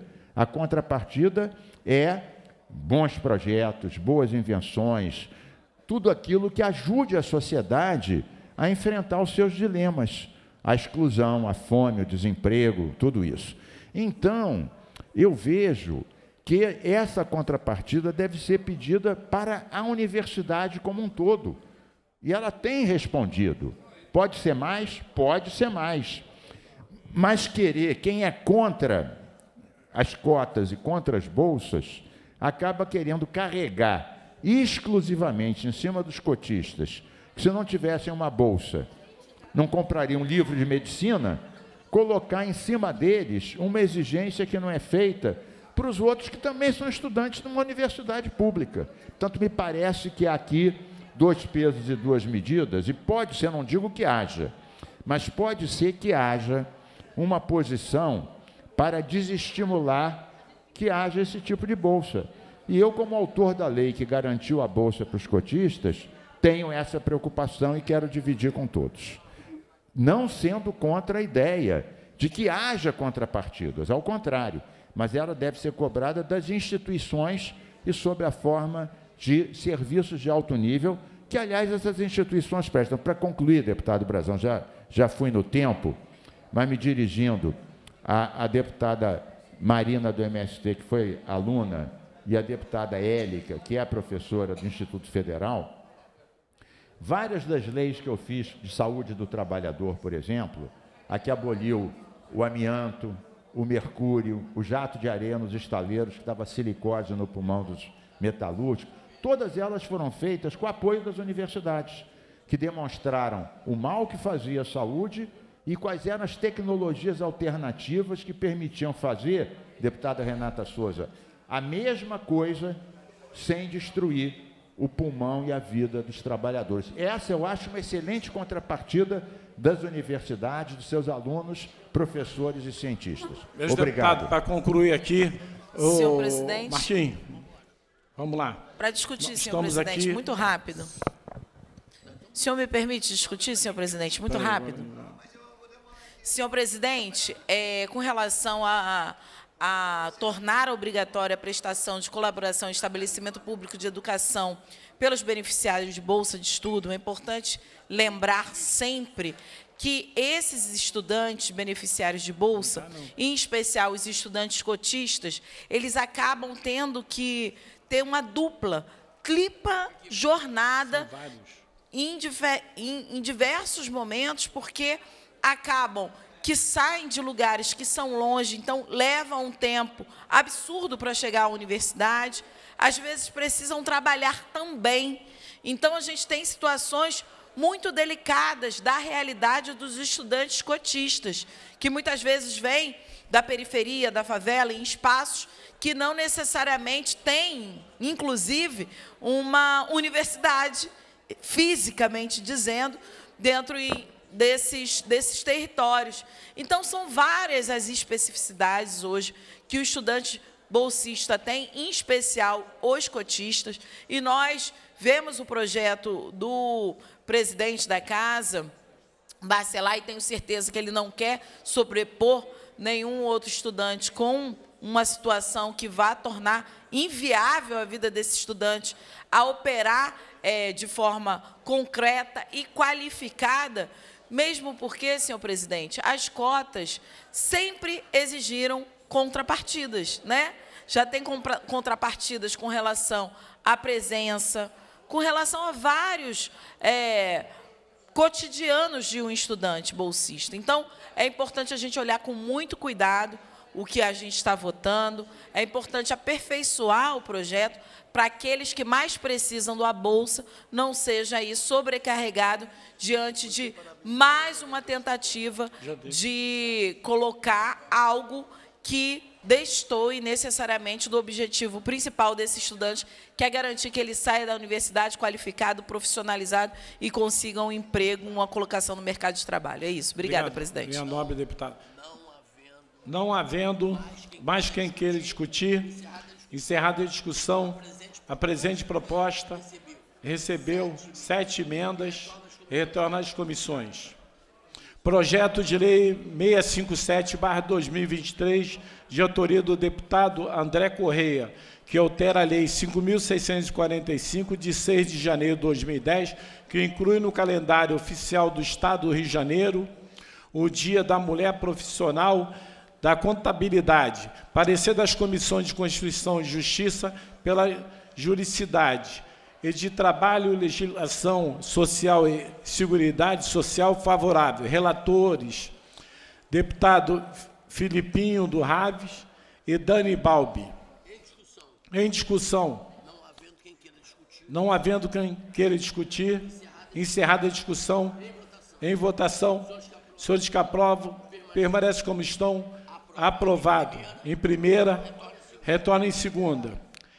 Em discussão única, indicação legislativa 93/2023 de autoria do deputado Renato Miranda, que solicita ao excelentíssimo senhor governador do estado do Rio, governador Cláudio Castro, Cláudio Bonfim de Castro Silva, adotar as medidas necessárias para a criação de um programa de capacitação e aperfeiçoamento para especialização, reciclagem e treinamento de médico de tráfego que trabalha na administração pública para realização dos exames hábito, aptidão, desculpe, aptidão física para a carteira de habilitação.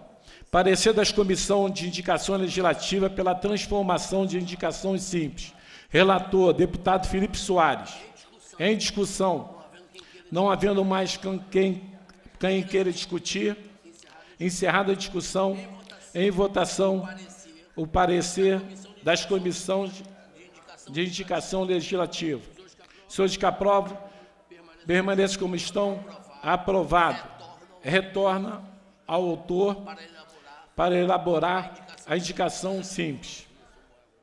Indicação legislativa 99, barra 2023, de autoria do deputado Flávio Serafim, que solicita ao senhor, excelentíssimo senhor governador do Estado de Janeiro, o envio de mensagem expondo sobre a construção da ciclo, da ciclo, ciclofaixa, ciclovia e ciclofaixa, instalação de sinalização na RJ 102, estrada do Guriri, que liga os municípios de Cabo Frio a Búzio. Parecer das comissões de indicação legislativa pela transformação em indicação simples. Relator, Felipe Soares. Em discussão. Para discutir, senhor Não, presidente. Para discutir nosso nobre autor, deputado Serafim. Senhor presidente, é, a nossa indicação legislativa, ela busca estimular o governador do estado a instalar né, é, ciclovia, ciclofaixa com sinalização na RJ 102, na ligação entre os municípios Cabo Frio e Búzios. A gente tem conseguido avançar na discussão das ciclovias nas cidades, mas em alguns casos também pode ser importante a gente ter ciclovias intermunicipais, porque tem muito ciclismo e tem uma, uma distância que é possível ser feita de bicicleta, inclusive sobre quem não é esportista profissional. É o parecer da comissão transforma em indicação simples. É, ponto de vista do processo legislativo, pode ser realmente, não precisa de uma lei que o governo encaminhe para que isso seja feito. né? Então, a gente não precisa né, de uma indicação legislativa, uma indicação simples pode ser suficiente. Então, não vou questionar o parecer, vou, vou acatá-lo, mas quero destacar a importância do projeto e esperar que vamos esperar que o governo faça e dizer que nós vamos cobrar. né? Esperar no sentido de esperançar, que nos dizia Paulo Freire, de quem não desiste das lutas. E por fim, senhor presidente, quero só destacar é, que hoje é aniversário da deputada Renata Souza. Então, eu queria deixar aqui os parabéns para a deputada, desejar muitas felicidades, Parabéns. saúde, sucesso e né, uma boa festa. Vamos lá. Não havendo mais que não queiram, queiram discutir, encerrada a discussão, em votação do parecer da Comissão de Indicação Legislativa. Senhores que aprovam, permaneçam como estão. Aprovado. Retorna ao autor para elaborar a indicação simples. Nosso nobre... Não, não, sei. É, boa tarde, deputado. Boa tarde. Nosso presidente. É, uma questão de ordem avisar que retirei de pauta essa indicação legislativa minha, que viria a ser colocada em pauta agora, número 10. E também comunicar a todos que nós fizemos hoje uma audiência pública em relação à situação do da primeira infância do estado do Rio de Janeiro. Uma audiência muito boa, onde levantamos eh, situações sobre a primeira infância na área da saúde, questão de vacinas, na questão da educação, sobre creches, sobre o pré-ensino, também discutimos a questão da assistência e vamos eh, levar todas essas reivindicações que foi colocada hoje eh, para os poderes públicos estadual, na questão da Secretaria Estadual de assistência, de saúde e de educação. Mas o mais importante que eu vi nessa audiência e que nos preocupa também é que todas as leis feitas para a primeira infância, que foi feita nessa casa, nessa casa de leis, são todas muito boas e que nos basta agora é fazer cumprir essas leis que existem. Então, para a gente melhorar a qualidade de vida da, criança, da primeira infância, que vai de zero a seis anos, é só fazer cumprir as leis que existem. Então, nós temos que trabalhar para que isso aconteça. Muito obrigado, presidente. Tá. Meu nome, deputado, presidente interfere o pedido de Vossa Excelência e retira de pauta a pedido do autor. Anuncio indica, indicação legislativa 117 para 2023 de autoria do deputado Elton Cristo, que solicita ao excelentíssimo senhor governador do estado do Rio de Janeiro, senhor Cláudio Castro, a concessão gratuita para novas tentativas em caso de insucessos nas provas teóricas e prática para obtenção da Carteira Nacional de Habitação, CNH, do Estado do Rio de Janeiro. Parecer das comissões de legislativa pela transformação em indicação simples. Relator, deputado Felipe Soares. Em discussão, não havendo mais quem queira discutir, encerrada a discussão, em votação do parecer da comissão de indicação legislativa.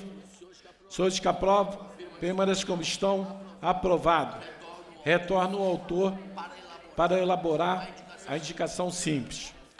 Inclusão na ordem do dia, de acordo com o parágrafo 3 do artigo 47 do Regimento Interno, em tramitação ordinária, em votação em primeira discussão.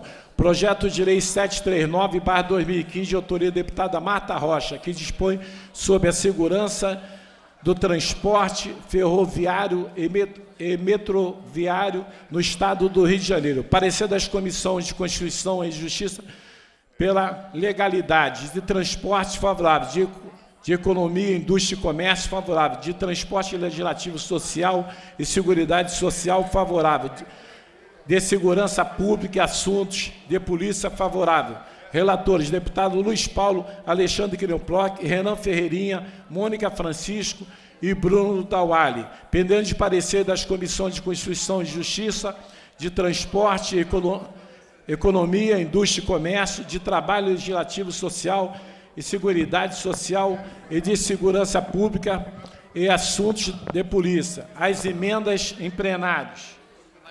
Para emitir parecer e constituir Constituição de Justiça, Rodrigo Amorim, doutor Serginho, Fred Pacheco, nosso nobre deputado. Parecer da CCJ as emendas de plenário, presidente. É favorável às emendas números 6, 7 e 8. Favorável com subemenda às emendas números 2 e 4 e contrário às demais emendas. Obrigado. Obrigado.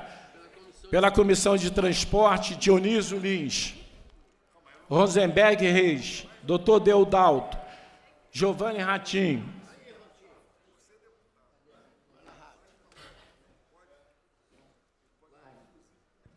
Acompanhe o parecer da CCJ, presidente. Obrigado, meu nobre deputado Ratim. Economia, Indústria e Comércio, Anderson Moraes. Daniel Libreron.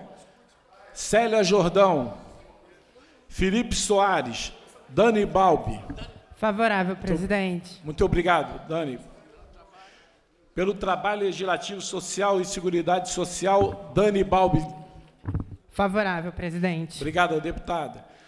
Segurança Pública e Assunto de Polícia, Márcio Galberto, Felipe Soares, Carlinho do BNH, Rodrigo Amorim, Índia Armelau, Guilherme Delaroy, Marta Rocha, por gentileza.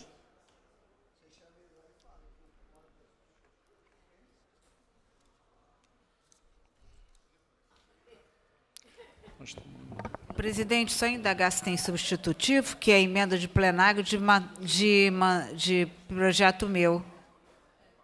Em tese, entendo eu que, que eu não deveria opinar. Não pode, é, tá certo. Desculpa aí, presidente. É, Marcelo Soldino, Felipe Paubel, Chico Machado, Cláudio Caiado, Douglas Ruas, doutor Serginho, Tandy Vieira, Pode, pode ser a Renata, Renata Souza, por gentileza.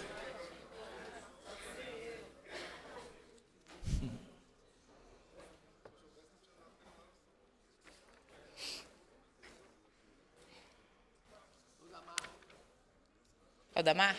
É, Damar. Senhor presidente, só elogiar a iniciativa da deputada Marta Rocha. É importante e fundamental que o transporte ferroviário e metroviário tenha a segurança necessária, então, nosso parecer é favorável. Muito obrigado, deputada. Com os pareceres emitidos, em votação, o parecer da Comissão de Justiça, as emendas de plenário. Senhores que aprovam, permaneçam como estão, aprovado. Em votação, o projeto a ser emendado. Senhores que aprovam, permaneçam como estão, aprovado. Para a redação do vencido, para a segunda discussão. Projeto de Lei 4372, par 2021, de autoria do deputado Giovanni Ratinho, que determina a instalação de creches e berçários nas unidades do DEGAS da Polícia Penal, para atendimento aos filhos dos agentes socioeducativos e polícias penais do Estado do Rio de Janeiro. Parecer das Comissões de Constituição e Justiça pela juridicidade com emendas de assunto da criança do adolescente e do idoso favorável, de serviço público favorável, de segurança pública e assuntos de polícia favorável, de orçamento, finança, fiscalização financeira e controle favorável. Relatores, deputado Rodrigo Amorim, Otônio, Otônio de Paula, Marta Rocha, Carlinho do BNH, Anderson Moraes. Pendendo de parecer das Comissões de Constituição e Justiça, de assuntos da criança e do adolescente e do idoso, de serviços públicos, de segurança pública e assuntos de polícia, de orçamento, finança, fiscalização financeira e controles, as emendas de plenário.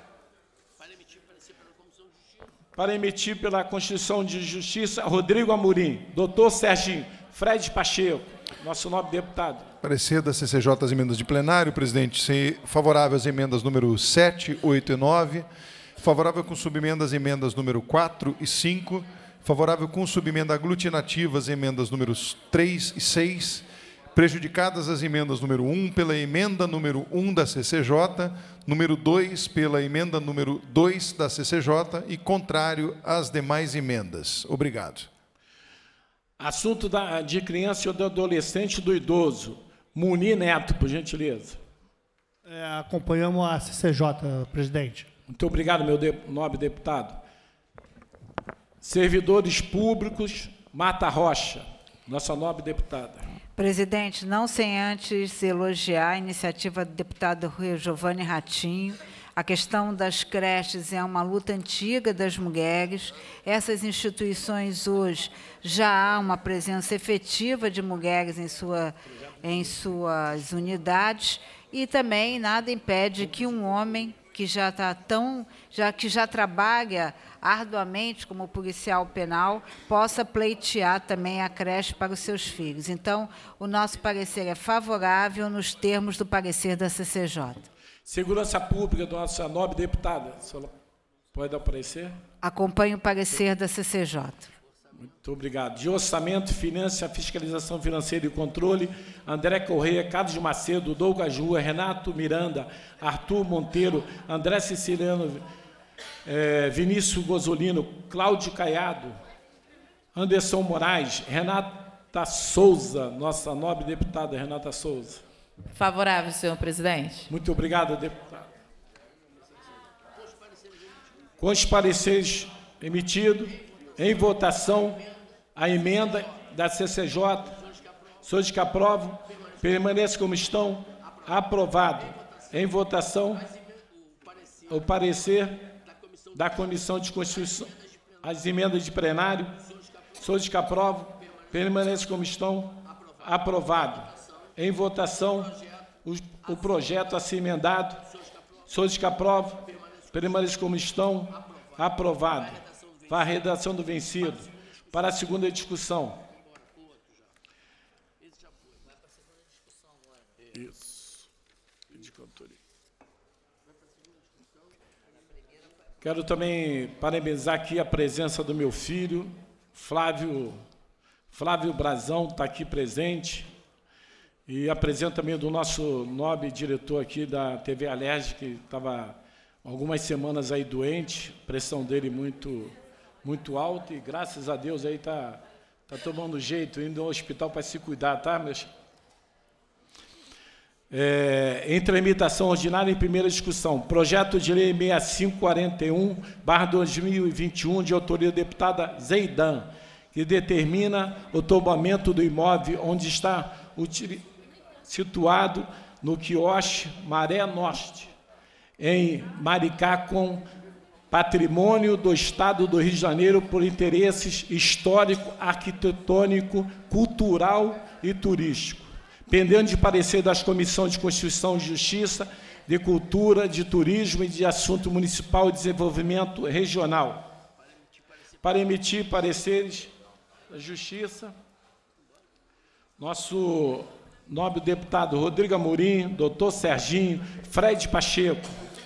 Presidente. Muito obrigado, meu deputado. Nós, é, segundo o posicionamento que está sendo adotado pela Comissão de Constituição e Justiça, neste projeto houve a decisão de fazer a, solicitar a baixa em diligência ao INEPAC.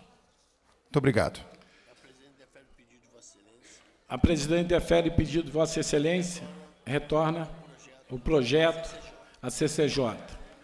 Projeto de Lei 1029, 1029 de autoria do deputado Muri Neto, que dispõe sobre a exibição nas salas de cinema de obras cinematográficas de reprodução brasileira, independentemente no âmbito do Estado do Rio de Janeiro, de cota de tela estadual, pendendo de parecer das comissões de Constituição e Justiça e de Cultura, Economia, Indústria e Comércio, de Orçamento, Finança, Fiscalização e Controle. Para emitir parecer da Constituição e Justiça, deputado Fred. Gentileza, deputado Fred. Parecer da CCJ, presidente, é pela constitucionalidade com emendas, concluindo por substitutivo. Pela Comissão de Cultura, Verônica Lima, nossa nobre deputada. Presidente, nosso parecer será favorável. Quero aqui já aproveitar para parabenizar o autor do projeto, o deputado Muni Neto. Essa é uma bela iniciativa que conta com o nosso apoio, o nosso parecer favorável enquanto presidente da Comissão de Cultura. Muito obrigado. Economia, Economia, Indústria e Comércio, Dani Balbi. Presidente, é com muita felicidade que eu. Ah, na verdade, eu sou. Eu, eu, o Munir vai me oferecer a autoria, então eu, eu estou impedida de emitir o parecer. Muito obrigado de orçamento, finança, fiscalização financeira e controle. Presidente, no caso eu não posso emitir o parecer porque eu já havia conversado com o nobre deputado, autor do projeto, então eu serei coautora. Nesse caso, eu declino da emissão do parecer, mas ainda fica faltando o parecer. O senhor terá que designar alguém, me parece, para emitir o parecer. Nosso nobre deputado aqui. Presidente, eu já proferi. Pela ordem, presidente. Valdo César. Pela ordem eu vou padecer do mesmo problema, embora já tenha proferido parecer, também solicitei com autoria. É, mas é após. É após ah, então tá ótimo. Está. Então tá resolvido o meu Isso. problema. Como é que abre aqui do Val? Aqui? Val. Parece... Nossa. Obrigado. Orçamento, Finança, Fiscalização Financeira e Controle. André Correia, Carlos Carlos Macedo, Douglas Ruas, Renata Miranda, André Siciliano, Vitinho, Renata Souza. Eu. Senhor presidente, elogiar o deputado Munir Neto por, por fazer com que essas exibições em salas de cinemas tenham aí a valorização necessária e fundamental. A gente fala o tanto que o Rio de Janeiro já foi aí a Hollywood brasileira, mas a gente tem, evidentemente, uma situação muito ruim das salas de cinema, muito ruim também no que tange a ao investimento mesmo no cinema é, no estado do Rio de Janeiro. Então, nesse sentido, o nosso, o nosso parecer é favorável. Muito obrigado, deputado. Com os pareceres emitidos, em discussão, Para discutir, presidente. para discutir nosso nobre, nossa nobre deputada Obrigada, presidente. Rapidamente, queria elogiar o projeto do deputado Munir Neto, inclusive solicitar também a coautoria, se for possível, eh, entendendo a importância disso para a economia do Estado do Rio de Janeiro e para a nossa cultura. A gente, eh, eu acredito que com isso vai ajudar a alavancar uma indústria que está muito prejudicada por conta da falta de tela, exatamente, para exibição de cinemas brasileiros. A gente tem uma produção muito grande de centenas de filmes e, inclusive, muitos premiados nacionalmente, internacionalmente e pouco exibido em telas eh, no nosso estado por conta da falta de uma lei como essa que, que garante né, essa exibição nas salas do cinema. Então, se trata de um setor que tem um impacto econômico muito grande para o nosso estado, na questão de turismo, na questão de tecnologia, na questão de transporte, na questão de alimentação. Então, eu acredito que é, com essa atração também vamos, atrair também indústrias de base que tem uma toda a indústria da, da, da, da base audiovisual, que a gente sabe a geração de empregos que isso acarreta e toda uma cadeia de valor associada a essa atividade. Então, fico muito feliz, mais uma vez parabenizando o deputado eh, Munir Neto pelo projeto de lei, que eu acho que tão necessário e meritório. Obrigada, presidente. Nosso nobre deputado Serafim, com a palavra. Senhor presidente, quero parabenizar o deputado Munir Neto por esse projeto importante, por esse projeto certeiro. É, a questão é, da cota de tela, ela é um debate que vem sendo feito a nível nacional. É, o governo, por decreto, vem concedendo essa cota de tela, mas muitas vezes fica uma apreensão pela demora do governo em renovar. E a gente consolidar isso através de uma legislação estadual é importante para dar mais segurança é, para a indústria audiovisual local. Isso não é um detalhe. Não se, não se trata simplesmente de proteger um setor da indústria, se trata de proteger a nossa cultura. Porque quando a gente fala de garantir a produção audiovisual, a gente local, a gente está falando de garantir que as culturas regionais tenham também exibição nas telas, que a nossa língua, a nossa forma de falar tenha também exibição nas telas. O caso do cinema é, é muito evidente. Se a gente deixa, são só as grandes produções, 99% delas em língua inglesa, que vão ser é, passadas nas nossas salas de cinema.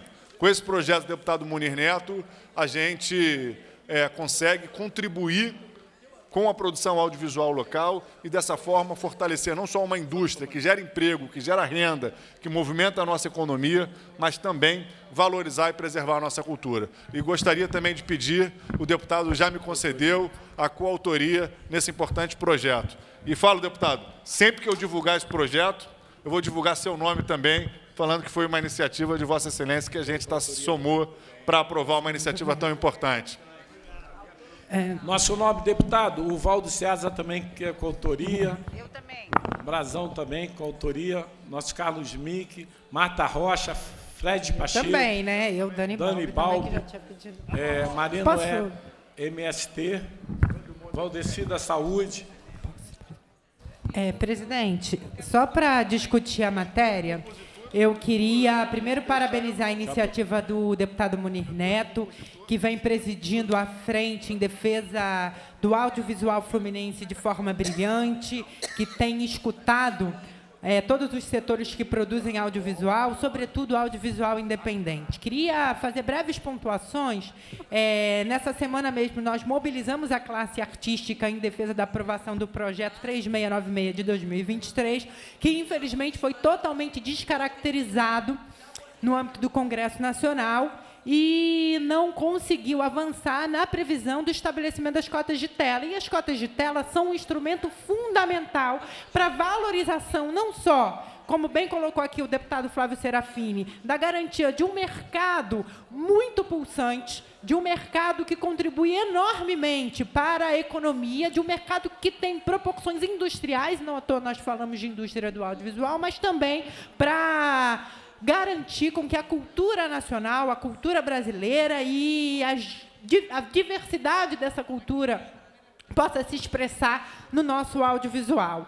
É, hoje nós temos um cenário de interrupção da própria prorrogação da lei de cota de telas, que, todavia, não prevê de forma sistemática cota de tela para exibição nos cinemas. Mais do que isso, nós passamos por um momento incerto, um momento em que as, as salas de cinema, as grandes exibidoras, passam por uma crise aguda e garantir a cota de tela certamente será um impacto para que as salas possam continuar abertas. É, queria dizer que isso não é uma novidade no Brasil, especialmente. Todos os grandes mercados audiovisuais, as majors norte-americanas, inclusive, se constituíram a partir do estabelecimento de cota de tela. A realidade do cinema nacional hoje é que, do cinema em geral, da exibição de obras audiovisuais, é que nem 2%, pasmem, nem 2% do que nós exibimos nas nossas salas de cinema é produto nacional. Ou seja, 98% do que a gente consome é enlatado norte-americano. Por isso é tão importante. Então, parabenizar mais uma vez o Munir Neto, parabenizar a Frente em Defesa do Audiovisual e todas e todos os parlamentares que se somaram para ver esse projeto prosperar. Presidente. Nosso, nossa nova deputada Marta Rocha, depois Carlos Miquel, a nossa Marina do SMT. Bom, presidente, em primeiro lugar, eu quero saudar aqui o deputado Munir Neto, é, meu é. presidente na Frente Parlamentar em Defesa do Audiovisual. Eu integro essa frente com muita felicidade. Acho que o projeto de lei, a qual eu pedi também com a autoria, mas sempre com compromisso de divulgar que o autor original da ideia é o deputado Munir, ele é de extrema relevância e se nós olharmos para a cidade do Rio de Janeiro, a cidade do Rio de Janeiro já foi um polo audiovisual e se perdeu ao longo dos últimos tempos. Tenho certeza que a deputada Renata Souza, como eu, sabe bem desse tema, porque estudamos as questões da cidade do Rio de Janeiro. E o que o deputado Munir Neto faz é não só dar uma sustentabilidade econômica à economia criativa, mas, sobretudo, a valorização da cultura nacional. E, nesse sentido, foi muito feliz a intervenção da deputada Dani Balbi, porque ela nos traz números e, e nos mostra que, apesar da, de toda a nossa eh, interferência em defesa da cultura brasileira,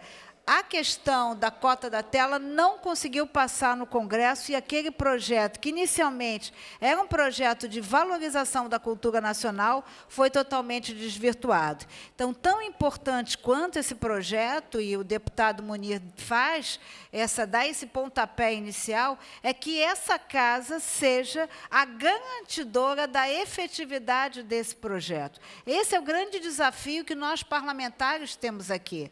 É não só ter a ideia, que é sempre após o fato social, mas, sobretudo, garantir a efetividade daquilo que deseja o povo fluminense. Porque, quando apresentamos um projeto de lei, não falamos apenas em nome próprio, falamos, sobretudo, em nome do povo do Estado do Rio de Janeiro. Então, salve, deputado Munir Neto, parabéns pela sua, a sua iniciativa e obrigada pela sua generosidade de acolher todos nós na defesa do audiovisual. Muito obrigada.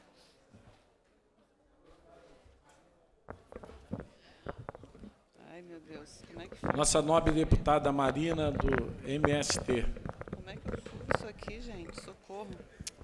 Será que eu consigo? Não. Pode falar desse aqui. Obrigada, presidente. É, também quero muito ir na linha aqui das nobres colegas que me antecederam. Primeiro, parabenizar essa iniciativa do deputado Munir Neto é, de criar né, esse projeto de cota de tela estadual para garantir a exibição de filmes nacionais independentes nas salas de cinema do nosso Estado. E também, muito de que já nos trouxe a deputada Dani Balbi, a indústria audiovisual tem uma participação expressiva na economia brasileira que supera várias áreas, inclusive, né? A gente estava vendo, supera a indústria de papel e celulose, supera a indústria farmacêutica e a indústria têxtil. Então, você vê que é, tem um papel muito importante na geração de empregos diretos, indiretos, tem um papel importantíssimo na economia. Né? E, sobretudo, aqui, né, com esse tema, também tem um papel importante na economia de base, ou seja, né, que dialoga com o conjunto aí. Então, para além dos aspectos importantes econômicos, né, para nós defender o cinema nacional é também defender a nossa história e a nossa cultura, né? Respeitar todos aqueles e aquelas que se dedicam a fazer cinema, a levar para as telas do povo brasileiro. Então, devido a essa importância, creio, nós não podemos deixar que só o mercado né, fique livremente aí para decidir quais filmes vai exibir em suas salas, porque não pode ser só o lucro, né, ou o lucro não pode estar acima do interesse nacional, da defesa do nosso cinema, da defesa da nossa cultura. E também, como disse, trouxe né, a nossa deputada Élica, muitos filmes brasileiros circulam no mundo todo, né? ganham prêmios em festivais internacionais, porém, quando são lançados aqui no Brasil, quando são lançados nacionalmente, não têm o espaço que merece nas salas de cinema e ficam poucas semanas, inclusive, em cartazes, porque tem a prioridade é, dos outros. Então, por isso, deputado Munir Neto, quero agradecer também a sua generosidade em compartilhar com a gente a coautoria desse projeto. Quero dizer que eu fico muito feliz de poder fazer parte né, disso e ressaltar que, por conta de todos esses elementos, a importância e o certeiro que o senhor foi feliz na proposição aí desse, desse projeto. Né? Então, agradecer e dizer: viva o cinema brasileiro, viva a nossa arte, viva a nossa cultura brasileira também. Muito obrigada. Obrigado. Nosso nobre deputado Carlos Mick, com a palavra. Presidente Brazão, serei breve, porque todas as deputadas e deputados, a gente está aqui avançando na hora, e a gente tem que ouvir o verdadeiro autor que está aqui do lado. Isso. Rouco de tanto ouvir elogios para esse projeto. Ó, deputado Munir Neto, Vossa Excelência foi feliz.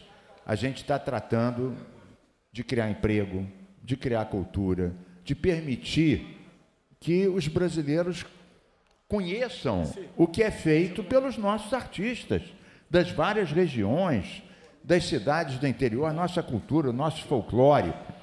Eu não tenho nada contra cinema de outros países. Agora, é o mínimo que as pessoas possam conhecer a nossa produção. Eu sou coautor da lei de estímulo à cultura, incentivo à cultura. E sou autor da lei que criou o Fundo Estadual de Cultura. Tenho vários amigos que são cineastas. Eles reclamam que às vezes ficam anos juntando papelada para prestar contas com coisa tipo Uber, pizza. Eu fiz uma lei para simplificar a prestação de contas, até porque vem projetos aí da Lei Paulo Gustavo, da Lei Aldir Blanc, isso vai incentivar. Mas não adianta você produzir se não é exibido. Uma coisa vai com a outra. Então, agora eu vou dizer uma coisa para Vossa Excelência. Há 20 anos atrás, eu apresentei um projeto semelhante e fui derrotado. Houve uma pressão enorme dos exibidores, das salas, arguíram que isso era uma intromissão, que prejudicava os negócios, que não ia ter tanta fluência, que já tinham sido prejudicados. Então a gente tem que se preparar muito bem para aprovar, para garantir a sanção e para fazer o cúmplice disso. Então, Vossa Excelência, conte comigo. Obrigado, Brasil. Veja que eu fui curto dessa vez. Obrigado. A gente está falando de curta-metragem, é, tem que deixa falar. Deixa o nosso autor do projeto. Curta, não, curta-metragem tem que ter intervenção curta Isso, Deixa o nosso autor aqui, o Munir, o autor do projeto, da ideia maravilhosa aí, se pronunciar. Presidente, é, primeiramente, agradecer a todos os meus amigos deputados e deputadas que pediram coautoria pela importância desse projeto. Queria também agradecer ao deputado Anderson Moraes por ter tirado suas emendas e a gente poder estar é, avançando nesse projeto na data de hoje. Agradecer ao deputado Luiz Paulo, líder do meu partido, por ter hoje nos ajudado junto à CCJ, junto ao Rodrigo Amorim, ao Fred Pacheco, de ter um parecer favorável desse projeto. Queria falar que esse projeto faz, faz o Rio de Janeiro, o Estado do Rio de Janeiro, voltar a ser protagonista no cinema brasileiro, coisa que já foi no passado e perdeu ao longo desses anos. É uma antiga demanda e reivindicação do mercado audiovisual. Como o nobre deputado Carlos Bic falou, para nós prepararmos, esse projeto foi feito a sete mãos, aonde nós ouvimos é, um conjunto de entidades, como a Associação Brasileira de Autores Roteirista, ouvimos a Firjan, ouvimos o Sindicato da Indústria Audiovisual, a Associação dos Distribuidores Brasileiros e Brasil Audiovisual Independente, Está a frente parlamentar nossa aqui, que foi criada, onde eu presido com alguns deputados aqui da casa, avançando. Então, isso faz que, as, que o cinema brasileiro possa investir com isso, criando mais emprego geração de renda, e com a garantia que esse filme vai ser colocado nas telas do nosso cinema. Isso que é o mais importante, a garantia do espaço. Os filmes nacionais vão ter essa garantia. Então a gente vem aqui é, agradecer muito a todos os deputados que nos apoiaram nesse projeto e falar que cada um real que é investido é, no audiovisual, no cinema brasileiro, três reais são injetados na economia nossa.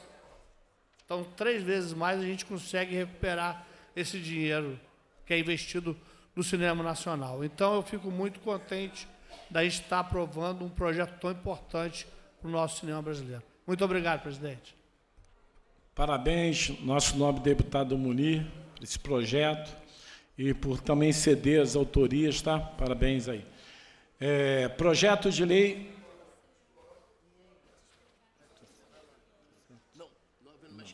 É. Não havendo mais quem queira discutir, Encerrada a discussão, em votação, as emendas da CCJ. Senhores que aprovam, permaneçam como estão, aprovado. Em votação do projeto assim emendado. Senhores que aprovam, permaneçam como estão, aprovado. Para a redação do vencido, para a segunda discussão.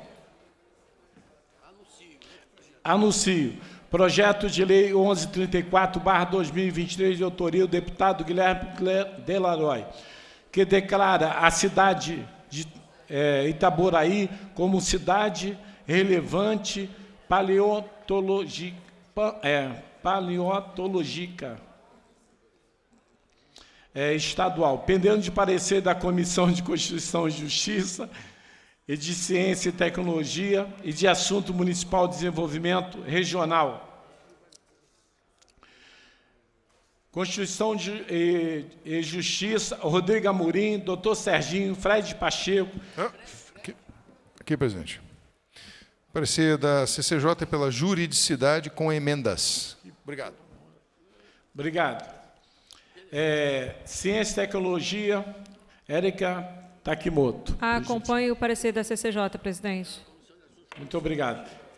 Pela Comissão de Assuntos e Desenvolvimento Regional, Renato Machado, Carlos Macedo, Yuri, Pedro Ricardo, Ricardo Machado, Douglas Rua, Marcelo Dino, Muni Neto, ah, Léo Vieira,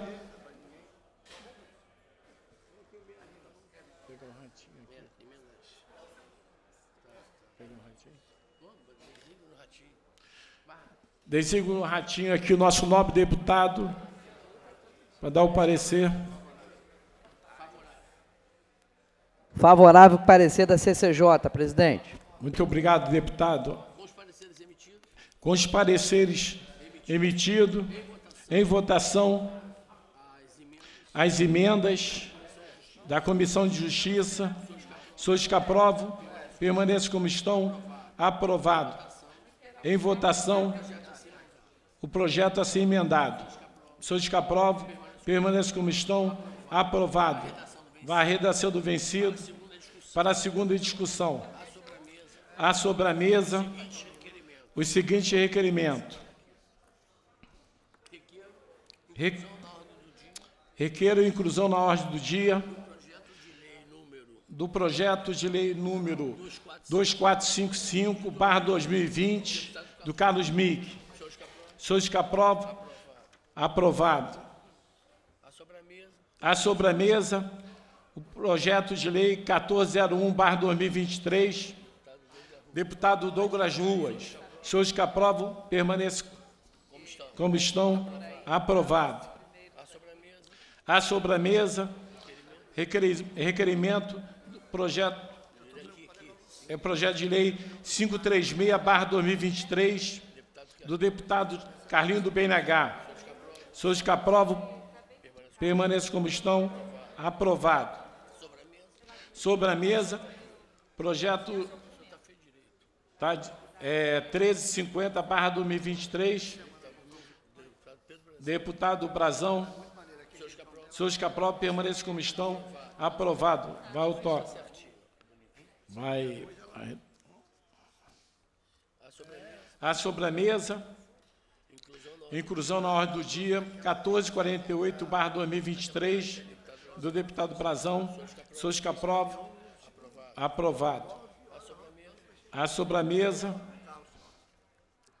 Projeto 30, é, 30, é, 336, barra 2023, do deputado Carlinho do BNH. Senhores que aprovam, permaneçam como estão, aprovado. A sobremesa, projeto de lei 904, barra 2023, Deputado Vinícius Cozolino. Deputado Vinícius Cozolino. Senhores que aprovam, aprovado. A sobremesa. A sobremesa. Requerimento. Requerimento. Projeto de lei 978, barra 2023, do deputado doutor Serginho. Senhores que aprovam, permaneçam como estão, aprovado. Projeto de lei 6443, barra 2023, do deputado doutor Serginho. Senhores que aprovam, permaneçam como estão, aprovado. A sobremesa, projeto de lei 516, barra 2023, do deputado Vinícius Gozulino. Senhores que aprovam. Aprovado. Peraí.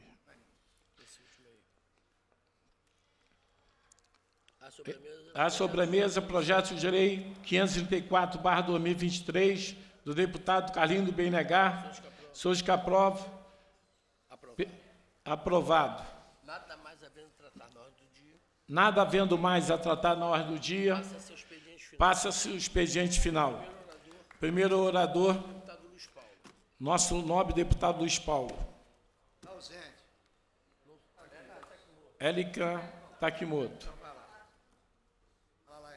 Nosso deputado, vamos. Giovanni, assume aí, por favor. Só tem a Érica. Só tem ela. Só, só a Érica.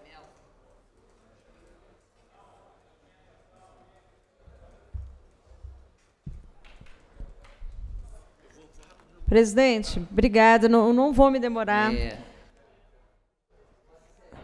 De 10 minutos. Serei, serei breve, presidente.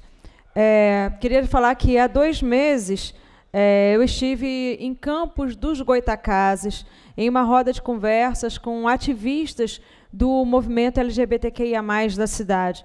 E foi uma conversa extremamente emocionante, porque, como todas as pessoas sabem, essa comunidade sofre opressões físicas e psicológicas, além de negligências na saúde e segurança.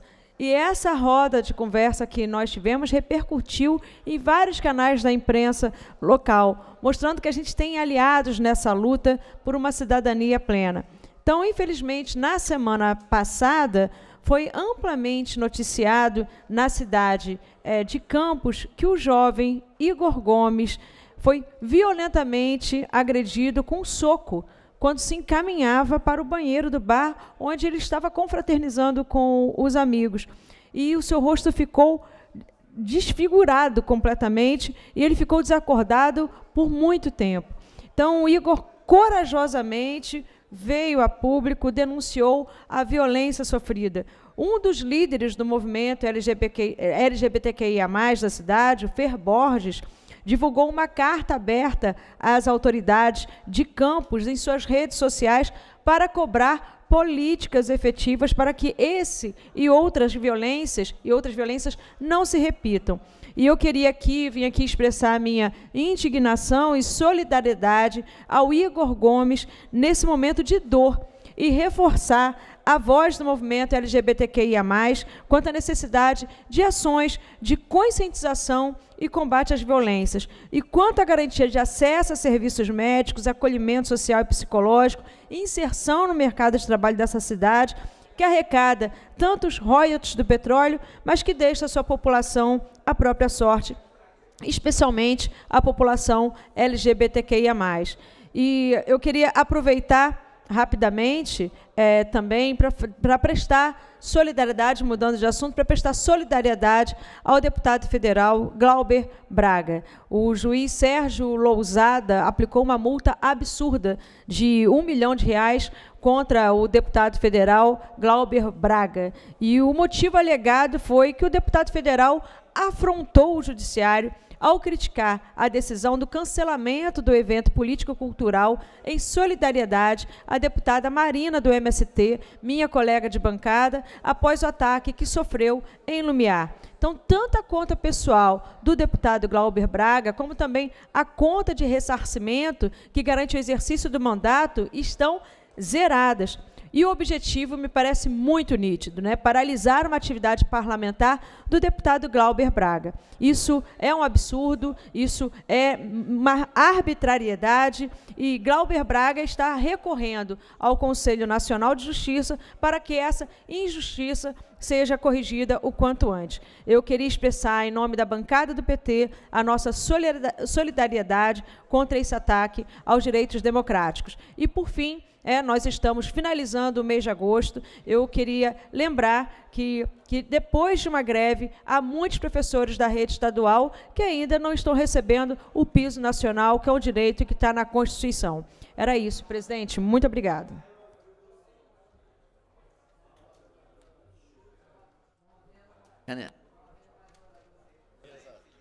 Não havendo mais oradores inscritos, está encerrada a sessão.